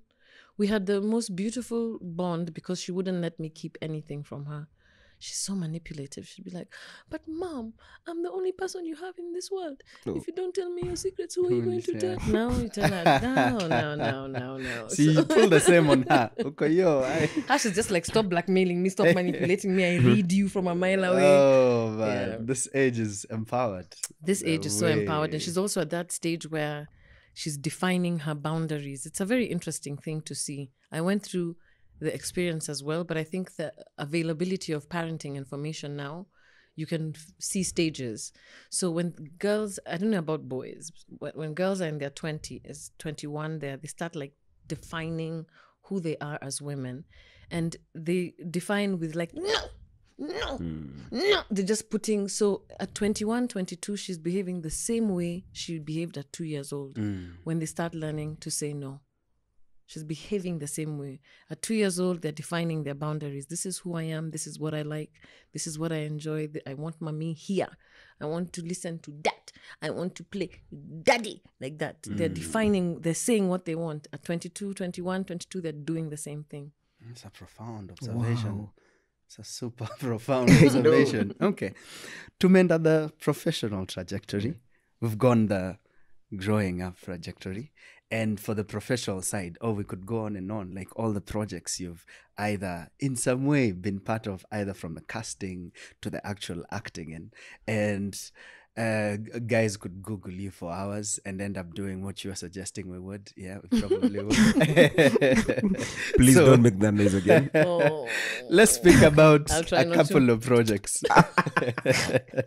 Maybe not all projects. Let's speak about just a couple of projects. One Please. I hope you ask about what I hope you'll ask. country queen Before that, before Rafiki. no.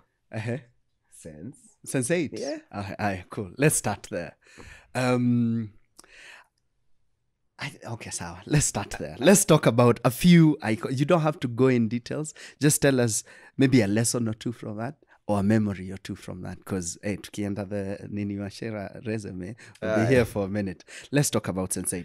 You spoke. I don't. Were we recording? Tukiongea juu ya the casting thousands of people. 5,000. Were we on record? No, it wasn't casting. It was I don't know if we were on record but we had extras for Yeah. the scene, the scene in Uhuru Park. Um, I actually have a couple of guys I know who are in who are it. in it. Yeah, so because 5,000 everyone, is a lot of yeah, guys. Everyone man. was- everyone got to be on Sense8. Every single Everyone, person. Were you on yeah. Sense8? No, if you were wasn't. not by there, that's your entire fault as an individual. It is well. You were ringaing by yourself in the corner. No, I've been Liquid Theatre. I've always been that. but I held my auditions at the Phoenix Theatre. I, yeah, yeah, and you didn't come. Not and at the showing. K&T Not up. Theatre. yeah. It's so sad that because I think you would have really enjoyed it. So I mean, so first of all, Sense8 was. In fact, it was the most confusing script we received because we received the Nairobi bits only. Oof. Hmm. So that's the script you're sent. So I'm just like, what the What hell is going on, going yeah. on? Because now the Nairobi bits have the other characters, but then you don't know who these other characters Yeah, are. what's their story? They're coming in and they're leaving. They're coming in and they're leaving, right? And the, or the guy goes, and then now the guy is in Korea or the guy is in London. You're like, what the hell is happening? How is this the? how- it's- ugh. So going through the casting process, I was working with Carmen Cuba, who is like Stranger Things, the casting director, Mighty Mike, the casting director. Like she's like a brilliant casting director from uh, the Hollywoods, and she had this whole process set up. So she just sends me this document. I was working for Ginger Inc., and Ginger Inc. was a service production house, and that's how I was a casting director because Ginger Inc. pinpointed me as their casting director, and they said we'll go with her. So I became the casting mm-hmm. director, but I was working with fucking Wachowskis. That's a big deal. That's a big. That's a deal big deal. Yeah. when you're getting notes from and Tom Tykwer, you're getting notes from their peers and the directors Ah, are telling you what they like and they're sending you voice notes. Nini, so I watched this audition and I liked it like that. So you're just like, oh my god, are the guys who did the Matrix. Yeah. the guys who did It's the a big deal. Matrix. It was the biggest deal ever. Yeah. So I'm on cloud nine, but I'm also going through a very difficult time emotionally. Why was I going through a very difficult time emotionally? I can't remember. But I remember that I was going through a very, like, uh, my mental state wasn't at my mm. happiest. And here's an opportunity to audition for roles. But, you know, first of all, Sense8 had only men mm-hmm. And Chichi. and Chichi. But I want that role. But Chichi had been sold pre. You know, like when producers are like, "Oh, who's a great actress from Kenya? Could you send us a? We're trying to present to the t- to the network so they can take the film. They want to see a list of your cast from Kenya of your potential cast. So she'd already been presented, and then there's a.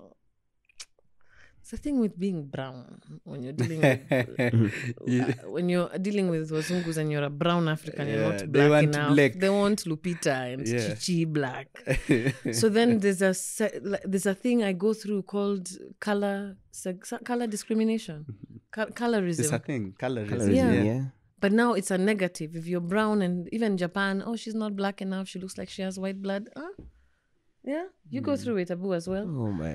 So Chichi got the role, but I was also not in my happiest, most thriving. I think it was. space. Oh, I remember. I now I'm in my 30s and I didn't get married. And I'm going through that thing socialized, cultural expectations where you've let yourself down. Because I didn't pursue marriage, and I'm thinking I'm, I'm in my 30s, I'm an old maid, and I went through this depression, which is so ridiculous because you are not an old maid in your 30s. Maybe now you're an old maid. so, um, where was I? so this is what is going on. My mental space. My, my mental Yeah, space. but Yeah. work-wise. But work-wise, it's going great. But now I want that role. I didn't get that role. She got that role. Yeah. Damn. Also, as the victim of- son. yeah, colorism. Exactly. And I think I would have been perfect as um Capheus' mother. Mother. Yeah. Chichi got it. I That- the jealousy you experience as an actor, you know it, right? When you audition for a it, role. though. She did a job. She did a fantastic job, but I could have done the same, even better. Chichi, I love you. I think you're brilliant. But yeah, Uh, whatever. yeah. But it's every actor's desire when they audition for the role to get the role. To get the and role. even though you're kudos for the other actor, you're also like insanely Mm, jealous. Like what you mean. I'm watching Nafsi now and I'm so jealous of Mumbi. And I'm like, why are you jealous, Wacera? Like this was Mumbi's movie. It wasn't yours. Yeah. But it's just like I could have done that role. So it doesn't take away from the Oh, look at that. And Mumbi is black. I know, as well. She's dark skin. yeah. Keep going. So do you see that she got season two oh, yeah. of Sense8 because she, Oh, yeah. But oh yeah, no. she came back She for came- season two. she yeah, wasn't- she wasn't I remember the one. six, in, uh, the sex scenes and all. of course you So- do. Of course I do. of course I do. Hello. I mean, Of course you do. yeah, yeah. so i mean casting was brilliant because i enjoyed the process of working directly with actors when you're do- in the casting process once you and your cameraman have set up the shots then you can just be acting with all the actors you know? Mm. So every role that comes up it really stretches stretched me as an actor and also honed my skill as an mm. actor. So if you're looking at like things destiny sets out for you to better you in the journey that you've chosen for yourself mm. this was one of the things that injected a lot of skill into my acting. Mm-hmm. But from the casting lana loved my voice. And i remember there was this character in season two sense 8 and I was casting, I was looking for an actor, and she just kept telling me, "Don't, I just don't want to see anybody else. I just don't want to see anybody else." And then when she when she came to Kenya, she was like, "Nini, I love your voice so much. I just want you to be the character." So I became Justice Ab- Abdu. So I did get a role, a very small role, not very small role. It was going to be a role in season three, but then the Took a different direction. shit. Ah, cool. This is the story behind TV. It's like the longest running series I've been on was Wingu la Moto, right? But after that, everything I've been on has been cancelled after the first or second season. It's just like I come. No, let me not say that because no one's gonna don't. hire me. and also like, don't put good vibes. Yeah, yeah. It's good karma for me, honey. So, exactly. but that's a frustrating thing about TV. Mm. You're just getting into this thing, like you know, when Wingu la Moto, the producer and director left and started their own company. So Yeah. nobody wants to produce Wingu la Moto anymore. So that came to an end. Um, but you know, after that, there was there was a series I did called Changes. Changes. Yeah. This was before Sense Eight. I think that for me was more had more of an impact in terms of acting at an international level because South Africa came in with uh, Mnet Was an Mnet gig, wasn't it? and yeah. they trained us in the Meisner technique. They got a trainer from LA called Rob Mm. Mello. He came, he trained us in beginner Meisner. We did our repetition. We got, he, he taught us character work. It made such a huge impact. That makes so much sense because a lot of guys who started at Changes Mm-hmm. took off. Yeah. Exactly. Yeah.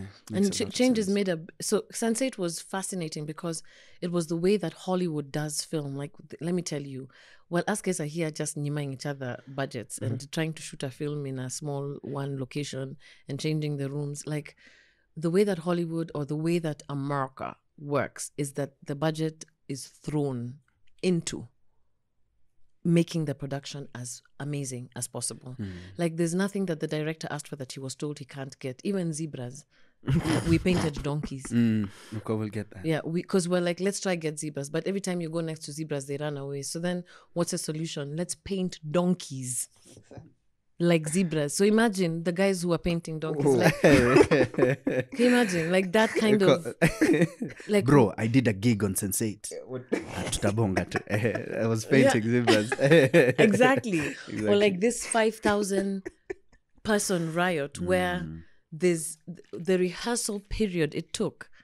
All these extras who played as a, a part in that 5,000 stampede yeah were in rehearsal for two months. There was five. There was a department that was do, going to do the. They're going to be splashed by water.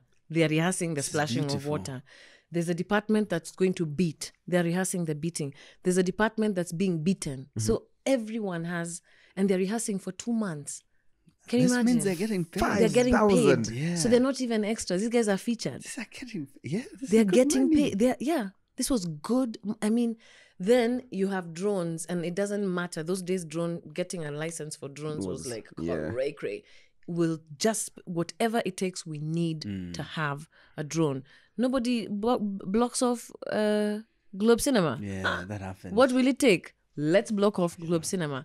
We need i think it was 8000 or 5000 motogaris to create a traffic jam mm-hmm. here. That was dope. everyone who has friends who have cars were paying each person i think it was 2000 or something or 1500 or something. Just let them to come park their car here and chill. and chill.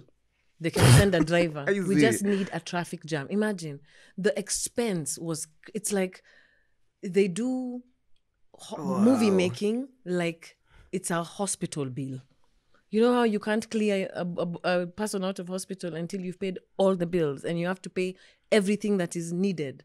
That's how they deal with it. out. they go all out. Yeah. There's no we don't have a budget we can't do that. All those limitations we put on our films i didn't see it. And then also the idea behind teamwork. I remember during the casting process the director i was working very closely with tom when it came to selecting especially the uh, gangsters black star what's no, what his name black star was for rafiki oh luanda's role i swear yeah luanda's role we get it Luanda, yeah, I can't Ah. believe. You see, when you now characters overlap because Blackstar was There's Neville, so many Neville's role in Rafiki. The selection of those group of boys, it was like these guys need to form a gang. They need to like have grown up together. So it's there. Okay, he makes a selection of three or four actors. I like this guy. I like this guy. I like this guy. I like this guy. Then okay, personality wise, does he is he a team player? How does he work in a mm-hmm. group? Is he the kind of guy who likes to go off and segregate? Mm-hmm. Like you, you would not have been one of those boys, by the way. I'd have been like he's anti-social. oh man Yeah. so then you're selected based on the character traits Yeah. of how you work in a team. it's meticulous So it's like it's not just based on your performance; it's based on more than that. Like he's mm. looking for like, like he's thought about these characters. Mm. He's thought about what he wants. He's thought about how he wants this to play out. He's thought about the music. Ask where you make movies. I'm It's so something refined. different yeah, ah, completely. just to pick the lessons in that lapse, eh? Let's go to mention you mentioned Neville. So let's go to Rafiki. Is it a different taste? Ama you don't even think about times at Sense8 when, when you're on that set because now you're coming in this time as an actor. Yeah. Yeah. So how is that? Are you First like, of all- especially because Ukawanuri, you- you're When- from there. What? I know, but Wanuri and I are very, very, very, very good friends. Ah, you're close. We're very, very. So we'd been talking about this film even before the uh, when she was still writing it. Okay. When she still when she needed a- actors to read, we, we you know I read scenes for her. Um, I was planting a woodlot in on some piece of property that they had in Karen. So then we'd have all these conversations while I was planting the woodlot. And so I knew about this film from the beginning and I wanted to be a part of the film, but I also wanted to support my friend in the process of making this film because she was very uh, worried about the way that it would be received because of the content. It mm. could be taken out of context. The content could be taken out of context, which mm. is what happened. And it did, yeah. it was completely taken out of mm. context and she was worried about the like the would it become a violent thing? Would she be thrown in jail? Would she have her rights taken away from her that's so it was more of like wanting to be there for my friend so with Wanuri, she was very involved in the casting process. Wanuri has a. Have you watched this film of hers that's on Netflix? Le, uh, No, the the Let- let the go- Nia Long one. yeah, what is it called? Let. What's it called? Let's check it out. As in, I watched the movie and then I'm like, I know this director. Imagine, I'm like, you didn't know it this- was hers. No, not yet. Oh, Although wow, the credits had run, but I was distracted. Uh-huh. So then I, I'm like, I know this. This mm. work is familiar. It's There- like There's a I- familiar like, feel. Yeah. yeah. And then I'm like, I would just, I went to the information page on Netflix and I Look was like, both ways. look Ah, both ways. There you go. Wanuri has a specific style, yeah, and she's very like she loves color and she thinks about the music. She's like Tom. She's thought about the music. She's thought about the fabrics. She's thought about the textures of the season, how it must look because it must be the kind of gray sky that will enhance. I mean, Wanuri is a freaking artist, so I, Wanuri's directing is on the same level, and that's why she's in America Yeah. or Canada right now. Like that's why she is where she is, because she's her, her she's too big. She's too big for the people. We don't get her in this country. Mm. She had the most amazing casting process as well. She used a lot of music, a lot of music to get into moods, to get us to to get into our stories. Because I've I'm married to Jimmy Gathu's character, and then we get divorced, and then now we have this relationship where I am bitter, but I still love him, and he's moved on. And we played, we did music. She had all these techniques with this um, trainer called Elizabeth Hesseman, who came from Netherlands. Again, an opportunity to be in the midst of like wonderful trainers of actors so that they teach you technique and skill. yeah. So Rafiki injected more power into my skill Yeah. as an actor because we were taken through a workshop. Mm. Like just being meticulous about the thing that you need as a director. You know, her producer was Big World Cinema, Stevie um, Stephen Mar- Markowitz from South Africa, and he's a, an amazing producer. He also wants to give to the production what the production budget is. He's not trying to buy a house in Ashinde and to build a house in Kitengela with the production money. He's trying to make the production, make the film a film. And Wanuri is amazing. Oh man. Yeah. Sounds beautiful. Yes.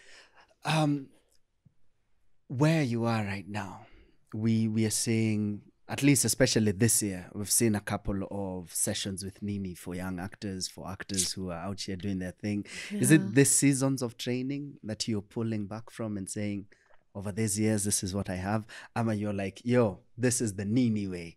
Let's jump into this. And was it that experience that has brought like has uh, made you now decide to do this? No, I think the, what I not I think I know that what I want to do is to like leap over this gap that happens when I'm on set mm-hmm. with this new actor who's never been on a set. Right? There's a lot of kids or actors who come to the theater but they don't know the set. So when they come on the set, then they have this way of being that you waste a lot of time mm-hmm. because they don't know what they're supposed to do. They don't know how to behave. They don't know set etiquette. They don't know what their work is as actors when they when they get the script, what they're supposed to be doing at home. Because then, if they've worked in the theater, they know you come to rehearsal and you rehearse the play. So there's a gap that happens where I feel like we we're not balanced when I'm on set with this new actor. What's this that's lacking here? Yes, they have uh, um, talent, but you can't, you can barely get to the talent because they're nervous. They don't know what they're supposed to do. So I wanted to bridge that gap so that I can teach the things that you would be taught in acting school, or which is, I mean, I would love to open a fully, fle- a full-fledged dramatics, dramatic arts school, or you know, performing arts, theater, dance, the works here in Kenya because I feel like the skills, especially needed for screen, are not taught anywhere. So that's what I wanted. And I thought that all the things that I've learned along the way about my work as an actor with my character and my script and so that when I get on set I just get on set to do the work as opposed to be then told what to do. I wanted to to share that. I also came back from a, sab- a sabbatical that I took during the COVID period where I went to live in Elementaita. And when I came back from country to do Country Queen, when I was on set, I was just seeing all these new faces. I'm like, who are these new actors? So then I go to the National Theatre just to start like t- touching base and meeting guys and seeing mm, what's up. Mm. And, you know, you just go back to the theatre. You always just go back to the theatre because it's the easiest space to meet actors, have a conversation, find out what's happening.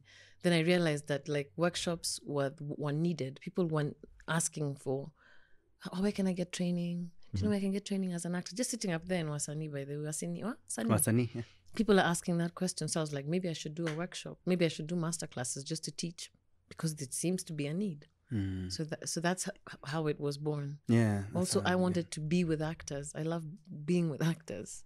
Yeah, it's a great community. Are, are, these workshops and master classes still going on?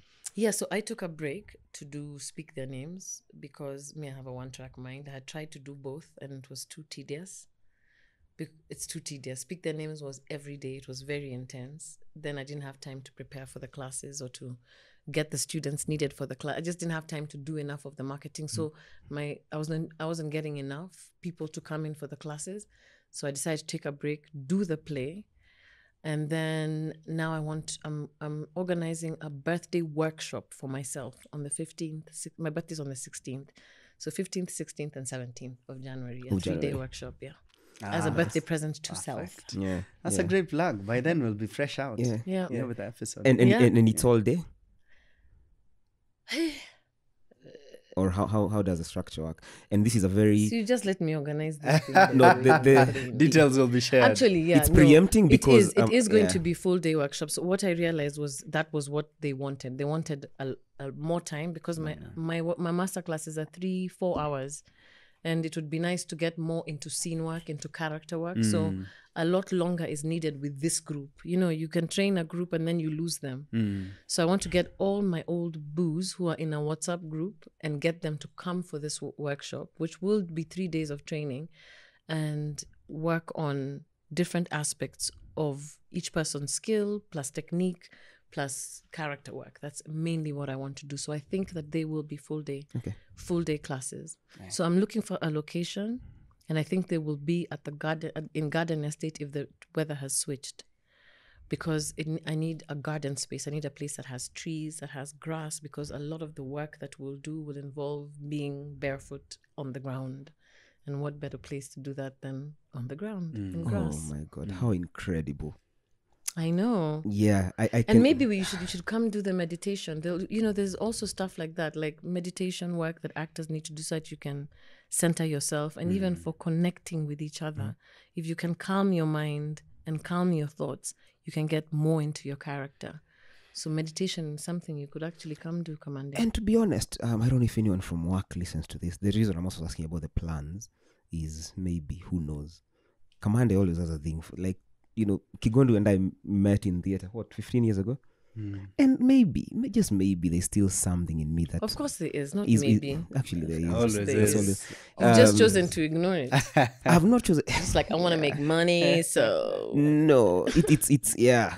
Uh, I've, I've not let's say i've not been very mindful of that part of let's say my this thing that keeps coming up i'm like okay i see it somewhere i see it somewhere i'm not very mindful of it um i'm not i've managed to tame that desire occasionally he'll tell you um, i don't know if he knows that i'm serious but i'm actually serious hey by the way when you're next writing something eh, could you write a few sentences with me in mind I want him to direct me, to write for me and direct me, and he thinks it's, it's a joke. happening. No, it is happening. Nene, it is happening. In fact, speaking of that um, uh, workshop and the three day, like me, America, this is like for those guys out there. Which camera? Which camera? This one.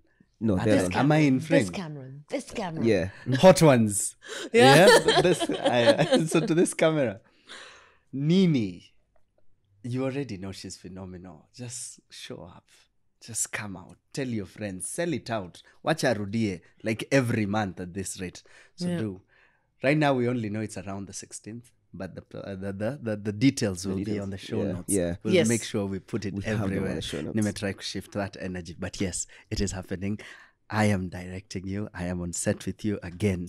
I'm writing with you in mind. This is happening. Oh, I love Yeah? it. Yeah. Let's talk about where you are presently. You said something, and we can not talk about it. Yes, there is Elementaita, but there is also the wood Woodlots. Woodlots. Yeah. I didn't know if it was an actual thing, so I've written woodlot. So woodlotting, that's a verb. Yes. No, no. Tell us, yeah. It's like lots of wood.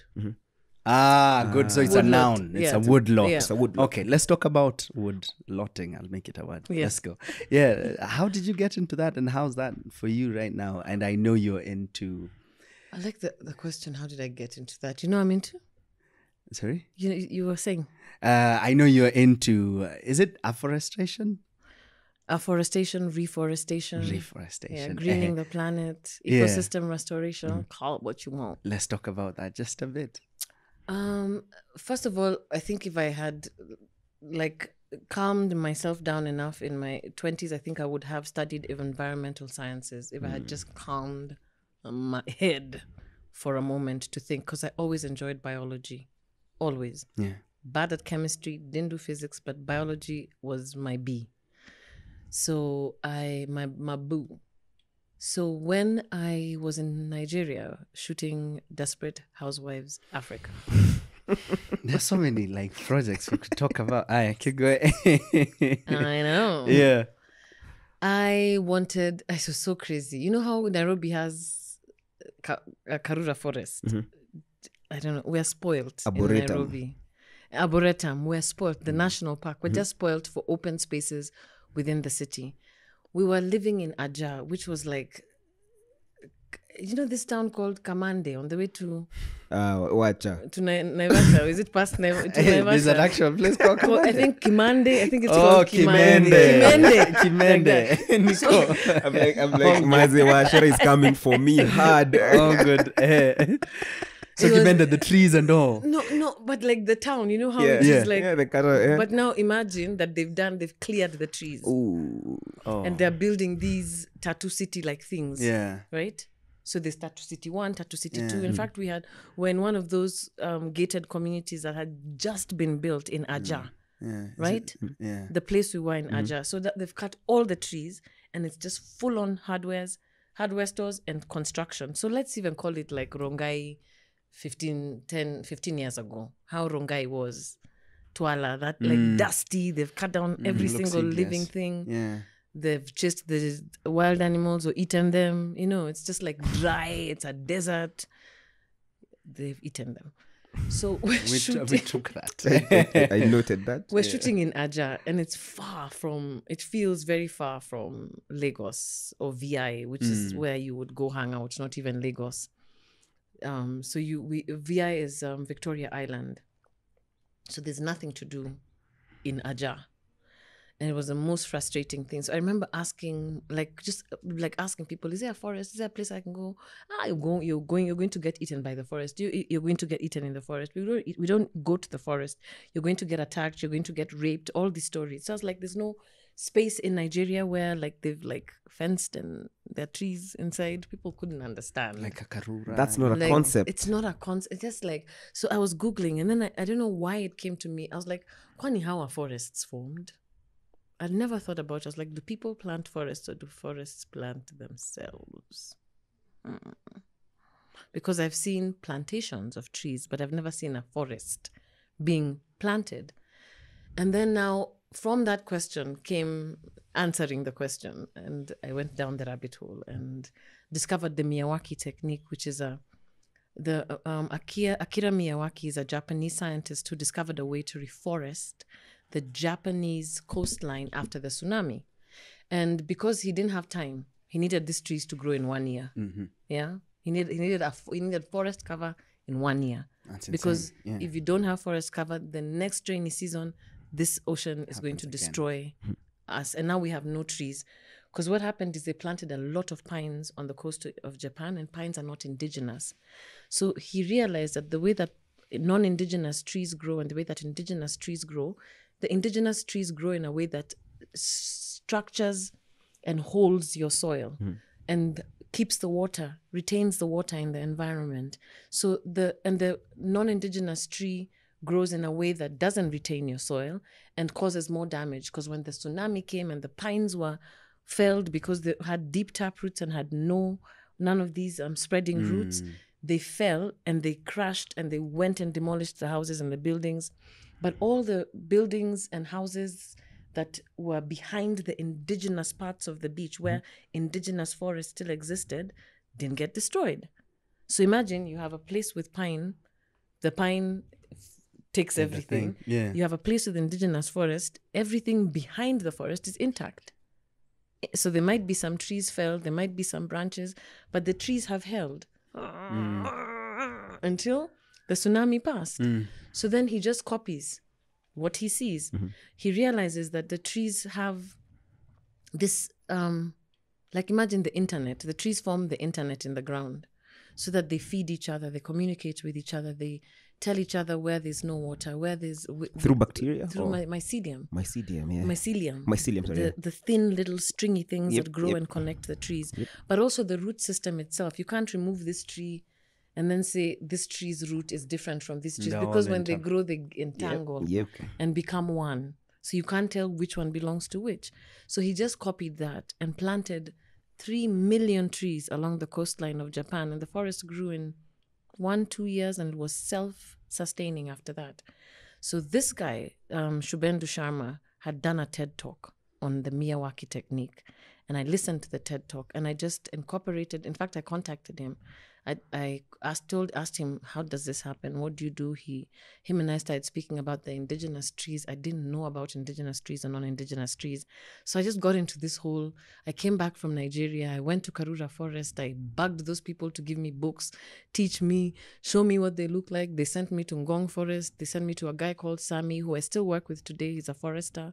He taught me even how to harvest. Like I, you, you know, this world is amazing. Once you show interest in something, it's like Alice in Wonderland. Mm. Chubulu, mm. you go into the rabbit hole.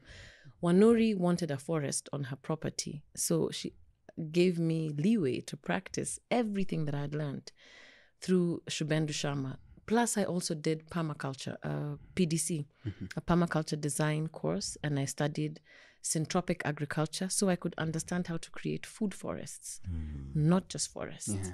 So, my first forest, a woodlot, which is a small forest or a small collection of wood in an urban area or a tiny forest, is in Karen. Wow.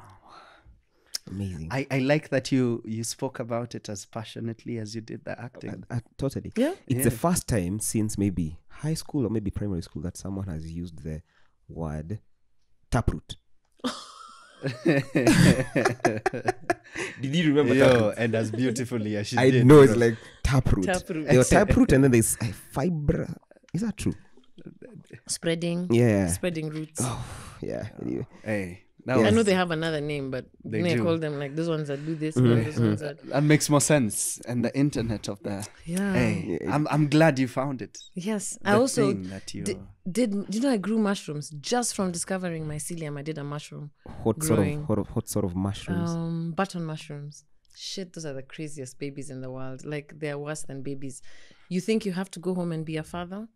You wouldn't even be here if you had doing mushrooms. this Yep, yep. if you had mushrooms. yeah. They are so insane. You can't leave them. They're so to needy.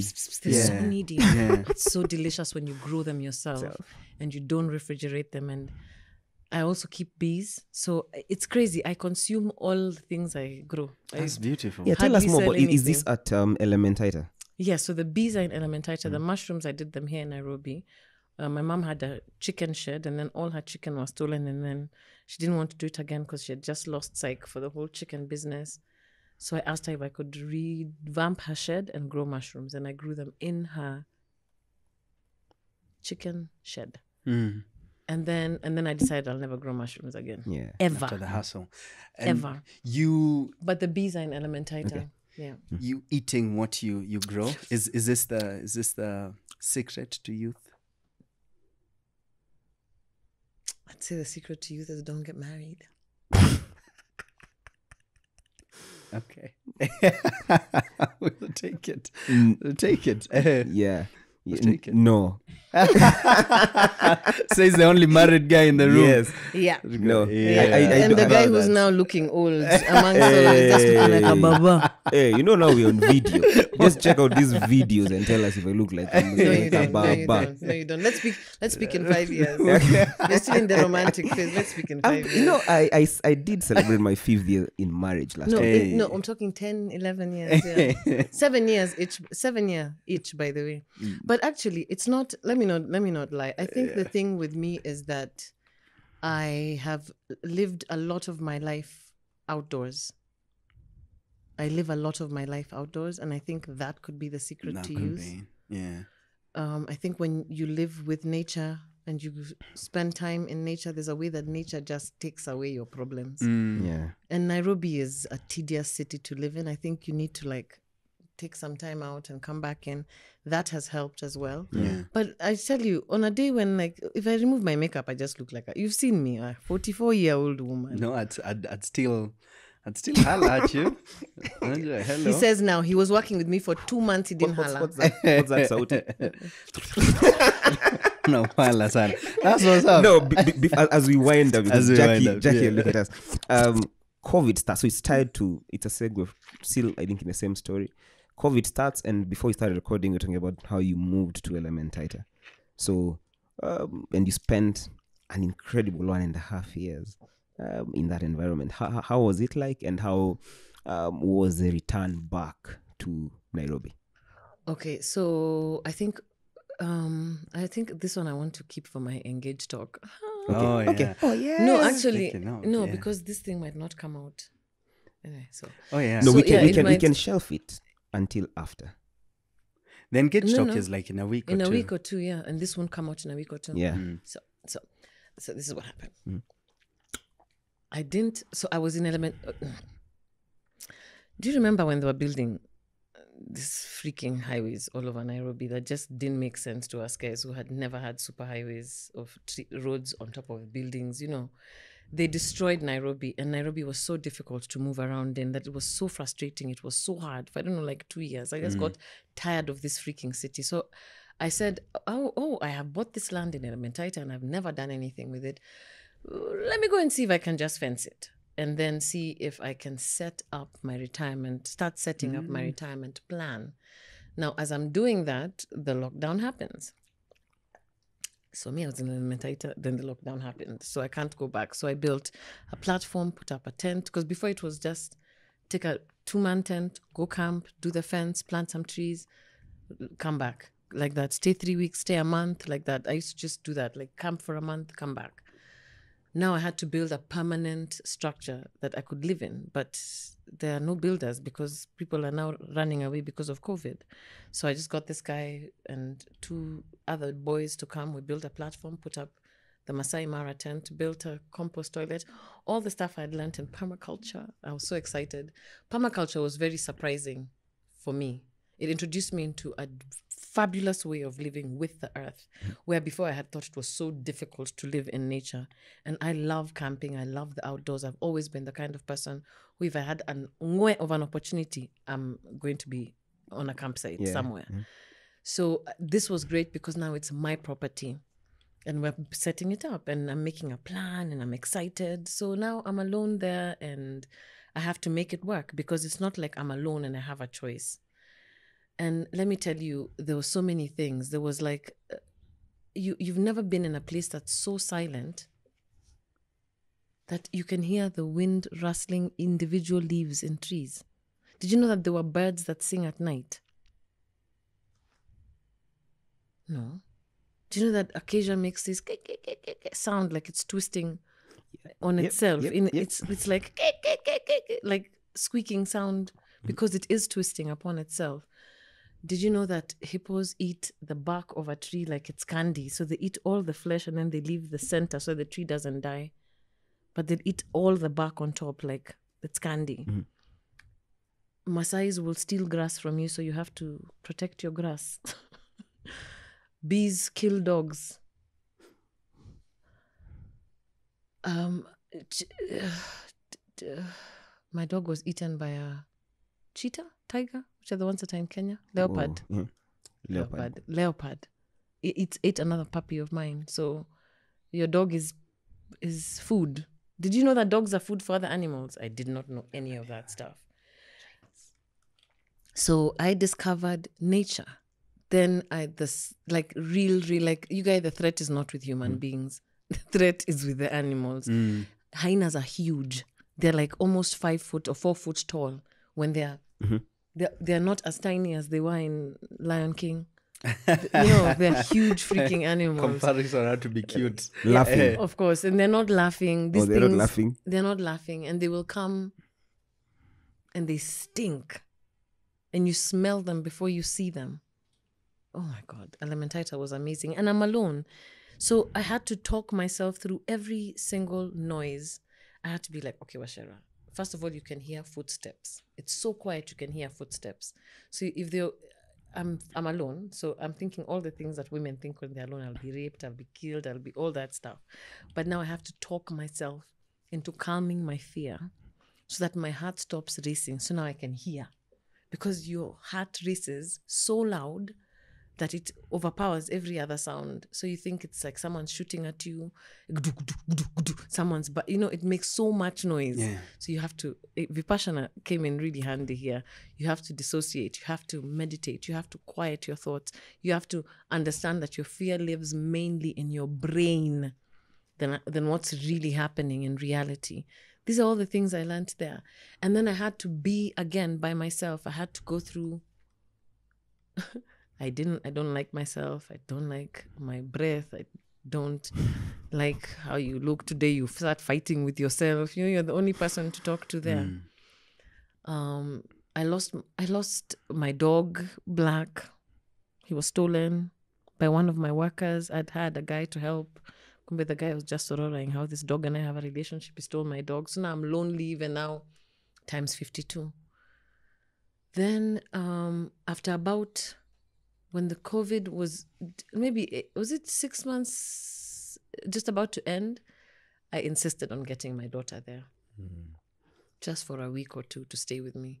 So I managed to sneak her through the boundaries and then she came to see me. But that was after six months. But I came back. I built a, a permanent cottage in the process as well. Then um, Country Queen called and said, Yo, we'll be shooting. It was like now April of the next year. I, tr- I, I mean, because I tried many things. I was planting trees. I was trying to keep livestock. I was realizing what that land can support, what that land can't support, what kind of vegetables grow here, mm. what fruit will grow. All this I was in discovery as I'm living there. And then Country Queen calls and they say, We need you in August. And then I look at mm. myself and I'm like, What the fuck? I'm black as coal. I have those hands for the shamba, Yep. you know? Mm-hmm. Um, I have sunburn on my skin. I'm skinny but healthy. very healthy, but skinny because you don't need anything excess goes. The sun, the wind, the work, the everything. And I was doing a lot of the work, like slashing. Oh my god, I had such. I mean, I miss my arms. I had such strong arms. I was just like, Omundu strong. By the way, I was. I had those things dense in Eh. the middle of the back. Yeah. Hey. I was, but not beautifully. I mean, when I came for Country Queen, guys were like, like that. People gasped in shock. Ask Abu, by the way. Oh, Abu. Abu, the noises. Yeah. No. Mm. Komaka. no. no, it's related. I tell you why. Abu, the noises. Abu, the noises. Yeah. So I don't think I don't know if it was a comeback, but I got it. I don't know if it was a comeback. I just know that I came back to do the thing that I had done the pilot for in mm. 2019, which we had mm. been waiting for, and then COVID came and cut the story. Yeah. And, and and and and how was that experience coming back? Did you enjoy it? Did you like, ah, man, this feels good? No. No. okay. Wait, what come back to Nairobi or coming back to, screen? to to screen. Nai- to, no. To screen. Oh. No, I was scared shitless. I thought I had lost Oh. acting.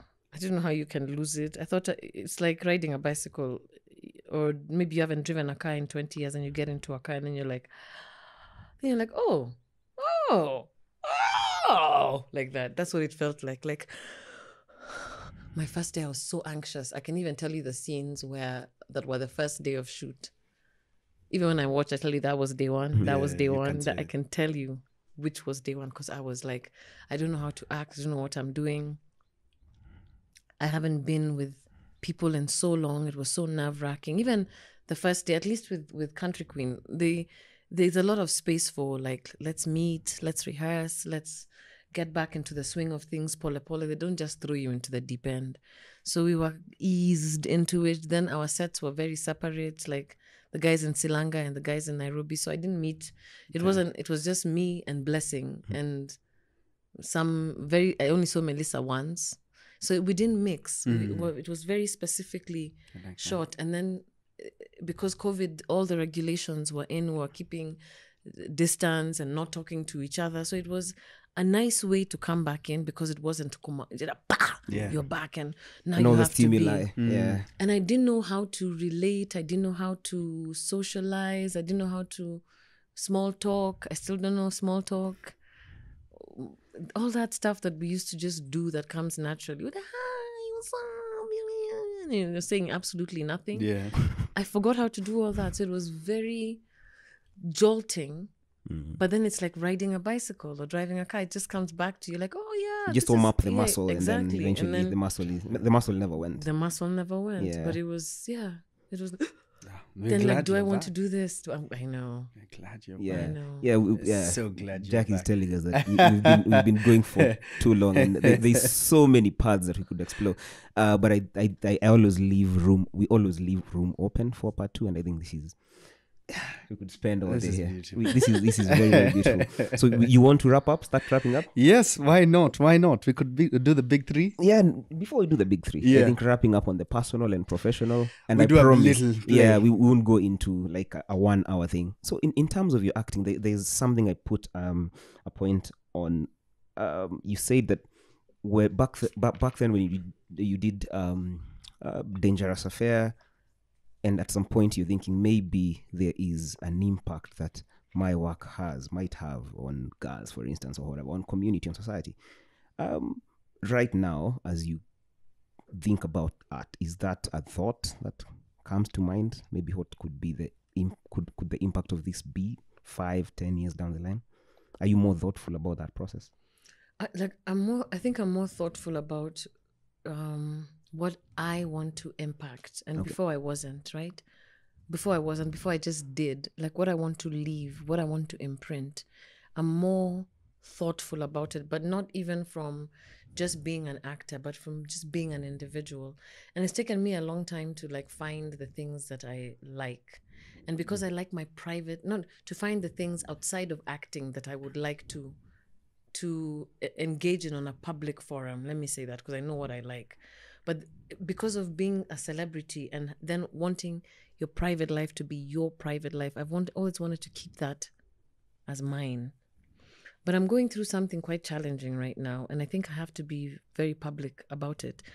Um, and I think this particular thing that I'm, you're going to see what it is, you're going to hear what it is, will start to engage me on a more message conscious way towards people who follow me or listen to me or but I've never actually taken my name and used it to to take any cause forward. I've never done the two.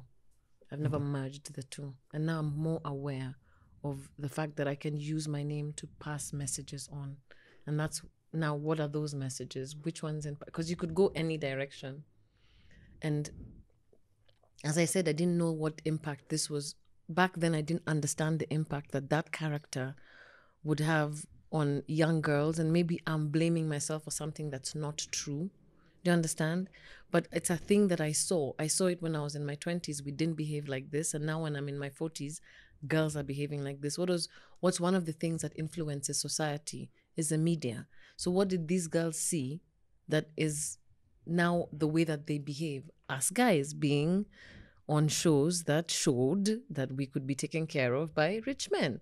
But it wasn't us guys who wrote the scripts, it wasn't us guys who created the characters. But now I'm more conscious of even if I do play a role that might communicate a different message to the young girl, to be aware of it enough in interviews to say that I'm showcasing a side of society, but this is not who I am.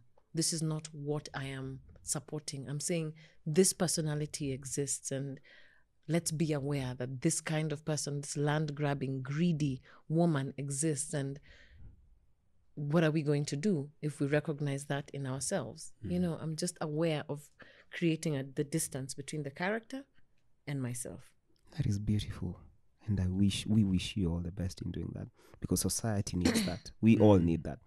Um, yeah, we do. Actually, and it's as- extremely valuable. Mm. Yeah. As, as as you were sharing that, it just crossed my mind. I was like, oh, I'd love to have this conversation in 20 years. Yeah. I know this. Yeah. I know. Wow. Okotu wow. now we'll again look at it in retrospect. Yes. Because I'm sure you will. I'm sure. So far, and even from the story, what we can tell is when she goes for it, you go for it.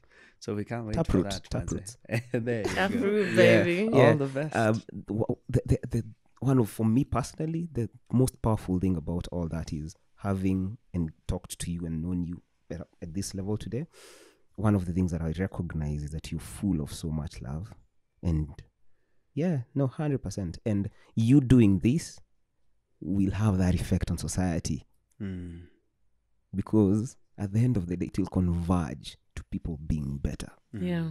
and people loving each other and recognizing the connect the connection between all of us. Mm. You know, Mm. that's that. If if I don't know what else the world needs to be honest, if not more love, No, no, That's Yeah. all we need. That that- is it. and you're full of it, Oh, and it will be Mm. everywhere if you do this consciously. That's a message. yes. Mm. People will not realize it that okay, I'm changing in certain ways Yeah. and I'm becoming more loving, and that's beautiful. Thank Mm. you. maybe That's there's a bias because of that's how I we see the world. At least I know Kigondu sees the world in the same way, and all of us see the world in that way. Sure. Yeah, but you guys are really like awake and very aware. The two of you. you. Asante. Yeah. Asante. Thank you. I, I guess we'll take it at tutaongeza mengi. Hatutaongeza. But I, I could attest to her loving nature. Um, the last couple of months we spent together.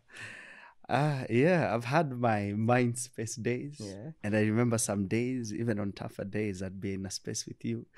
And uh, the energy you brought Yeah, in that loving kind of way yeah. always made me come back to life. So thank you for all that you are, all that you have gone through, all that you're becoming.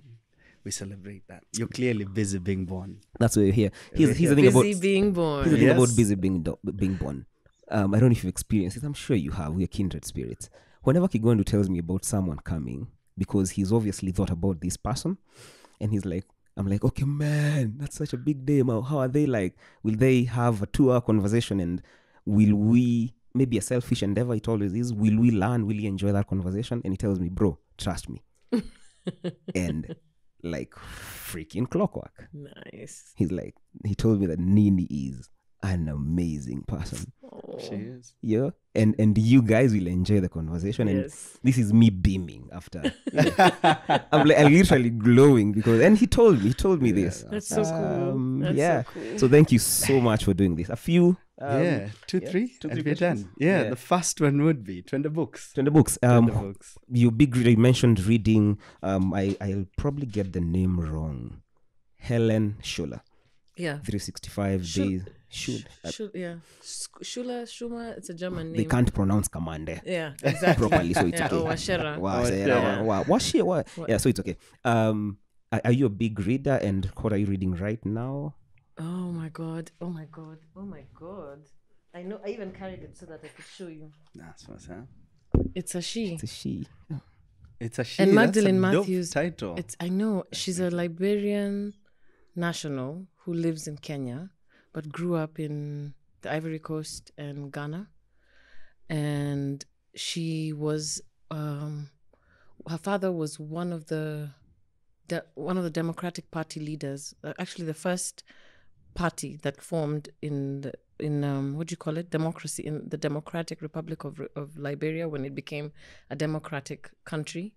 Her, her father's Matthews was one of the guys who was vying for presidency and also, I presume, a warlord. But she's written this amazing story. When she was born, she was born in a family of boys, and her, everyone knew it's gonna be a boy. And then the mom was like, "Oh, she'll be okay," and then the dad was like, oh, "It's a she," and then "It's a she" has become the defining title of most of her life. Um, lots of amazing lessons as well. Um, she's also a very loving being. I've never met her. My hairdresser gave me this book to yeah it was with her. I said let me see it. And then i liked that it's an african author because i'm always looking for african authors and i'm always looking for um, real life stories or autobiographies especially from women. And because especially women who've gone through challenging situations and are still alive and are still thriving because I feel like as women, we need to celebrate each other's triumphs. We're in a new era. I think we're setting, uh, like our parents, our mothers didn't leave leave us this legacy. They were different kind of women, and it's the first time this kind of woman exists who's grown up in the workplace and trying to define herself as a woman in a country that sees women as less. You know, so she's that African woman who inspires me now. But before that, I was reading Viola Davis. Viola Davis. I've just finished it for the second time Wow. around. Yeah, and I'll probably do the same with this. I like to read and then reread. Yeah. Out of all the books you've read, um, is there one that you'd gift? To Yeah, pe- Moses people? Isegawa. Uh, oh my god. Oh my god. Moses Isegawa. The book about Uganda during Idi Amin's time. Moses Isegawa. It's okay. I can't believe I've forgotten the title. That is my favorite book. And Life of Pi. Hey, did you like the movie? I know. I mean, the movie like the movie? was ex- you know it, it didn't disappoint. It Ah, came good. as close to the book. It was the first book movie, and then you're not disappointed. Yeah, I loved it. Life I loved Pi, it. I lo- yeah. fantastic. Aye. Amazing. Yeah. Writers, filmmakers, family. If you're to, I'm sure you've had this question before, but we like it as well because, hey, if you're to sit down for dinner with two people, dead or alive, and it could change, but in this season of your life, who do you think you'd desire to be across you on the table? And it could change. It could be a different answer from Kesho. Heck, we'll to give you years- three. Three. Three? Sawa. Okay, Nelson Mandela. I still can't believe he's dead. Dedan Kimathi and Meryl Streep. Whatever. Powerful. Ah, powerful. Nelson Mandela. Nelson Mandela. Hey. Dedan Kimathi, the guy who didn't make it, the guy who made it, and then the f- most amazing actress Fabulous. in the, Yeah. in the world. Um, lastly, The um, big one. The big one. Yeah. Um, so you're on on stage on a stage somewhere, or you have the nowadays it's it can be a digital stage where you're speaking to like the African continent, and along uh, on the stage with you on this forum with you are other big names, but you don't have an opportunity to speak. But there's something on your shirt. There's a there's a message on your shirt that resonates, might resonate across the continent. What would that message be? Could be a quote, could be a summary of an idea that you have. Maybe you were given this mountain to prove that it could move or it could be moved. Maybe you were given this mountain to prove it could be moved. Oh wow, that makes me teary. Because I feel like you've just been brought here to tell me that. oh man, thank you. and you know, it's I think I got it from this book. Oh, man. I'm trying I think I got it from this book. Maybe you've been assigned this mountain to show others it can be moved. And it's an unknown quote. That's beautiful. Yeah. But what I've lived with, to thine own self be true, and it must follow, as the night the day. Thou canst not then be false to any man. And that's from William Shakespeare, Hamlet. Just the, f- the first sentence, the first part of that. To thine own self be true. Self be true. We can't say any more after that. Yeah. Ladies and gentlemen, I have no idea whether both cameras are still on. but yes, you who's listening to us, oh man, I'm sure you've had a brilliant ride. Whether you're driving, whether you were doing your laundry, whether you were just listening to us before you slept, then umekuwa up all night. We love you for it, just as we love this particular guest, ladies and gentlemen. Nini Wacera, Jesus Christ, we love you so much. I love you, oh, Scribani. man, and that was beautiful. Thank you Thank for having me. Kimande and Scripps. Kimende. Kimende, Kimende is the Kimande, place. Kamande. Kimende is the place. She wanted to shade me about. Oh, good. This place Oh, is good. Kamande. it looks shady. Oh. Kamande, Kamande. not Kimende. Not Kimende. Sorry, but thank you. Thank, you, for so your much, time. man. Thank you. Yeah. Yeah. That's all we are. We are super grateful. Me too. Yeah. Thank you so much. And yeah, Stay Um, busy being Stay born. busy being born. Um, we have nothing to add on that. Thank you so much for joining with us. Remember, you can always find us on Facebook at the Busy Being Born podcast, on Instagram and on Twitter at Busy Being Born underscore. And we're always promising to, a be- to do a better job. Maybe we will. Um, actually, I think we will. Stop apologizing. You guys are doing a great job already. Social media, yeah. it's another story. We'll improve. We'll new improve. year, new things. new year, new us. Um, New ass? no, Like bigger ass? yeah, who knows? Are you? It's like breaking news.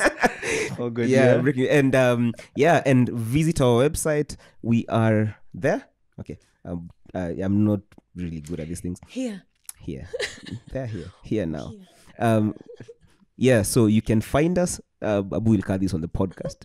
Um, me trying to find my the camera.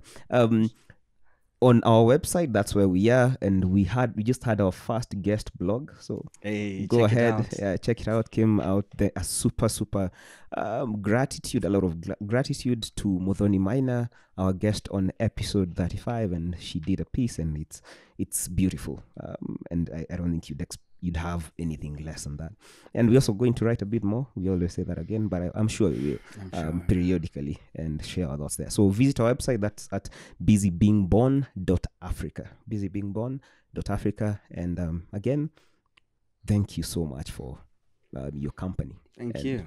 Yeah.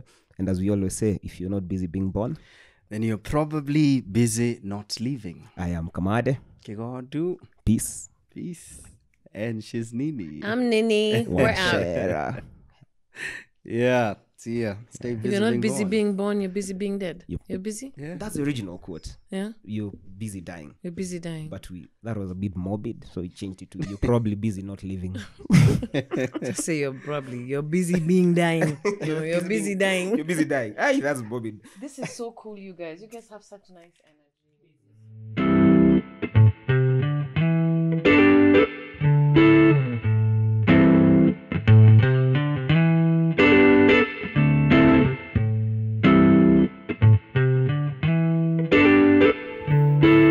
Thank you for listening to our podcast.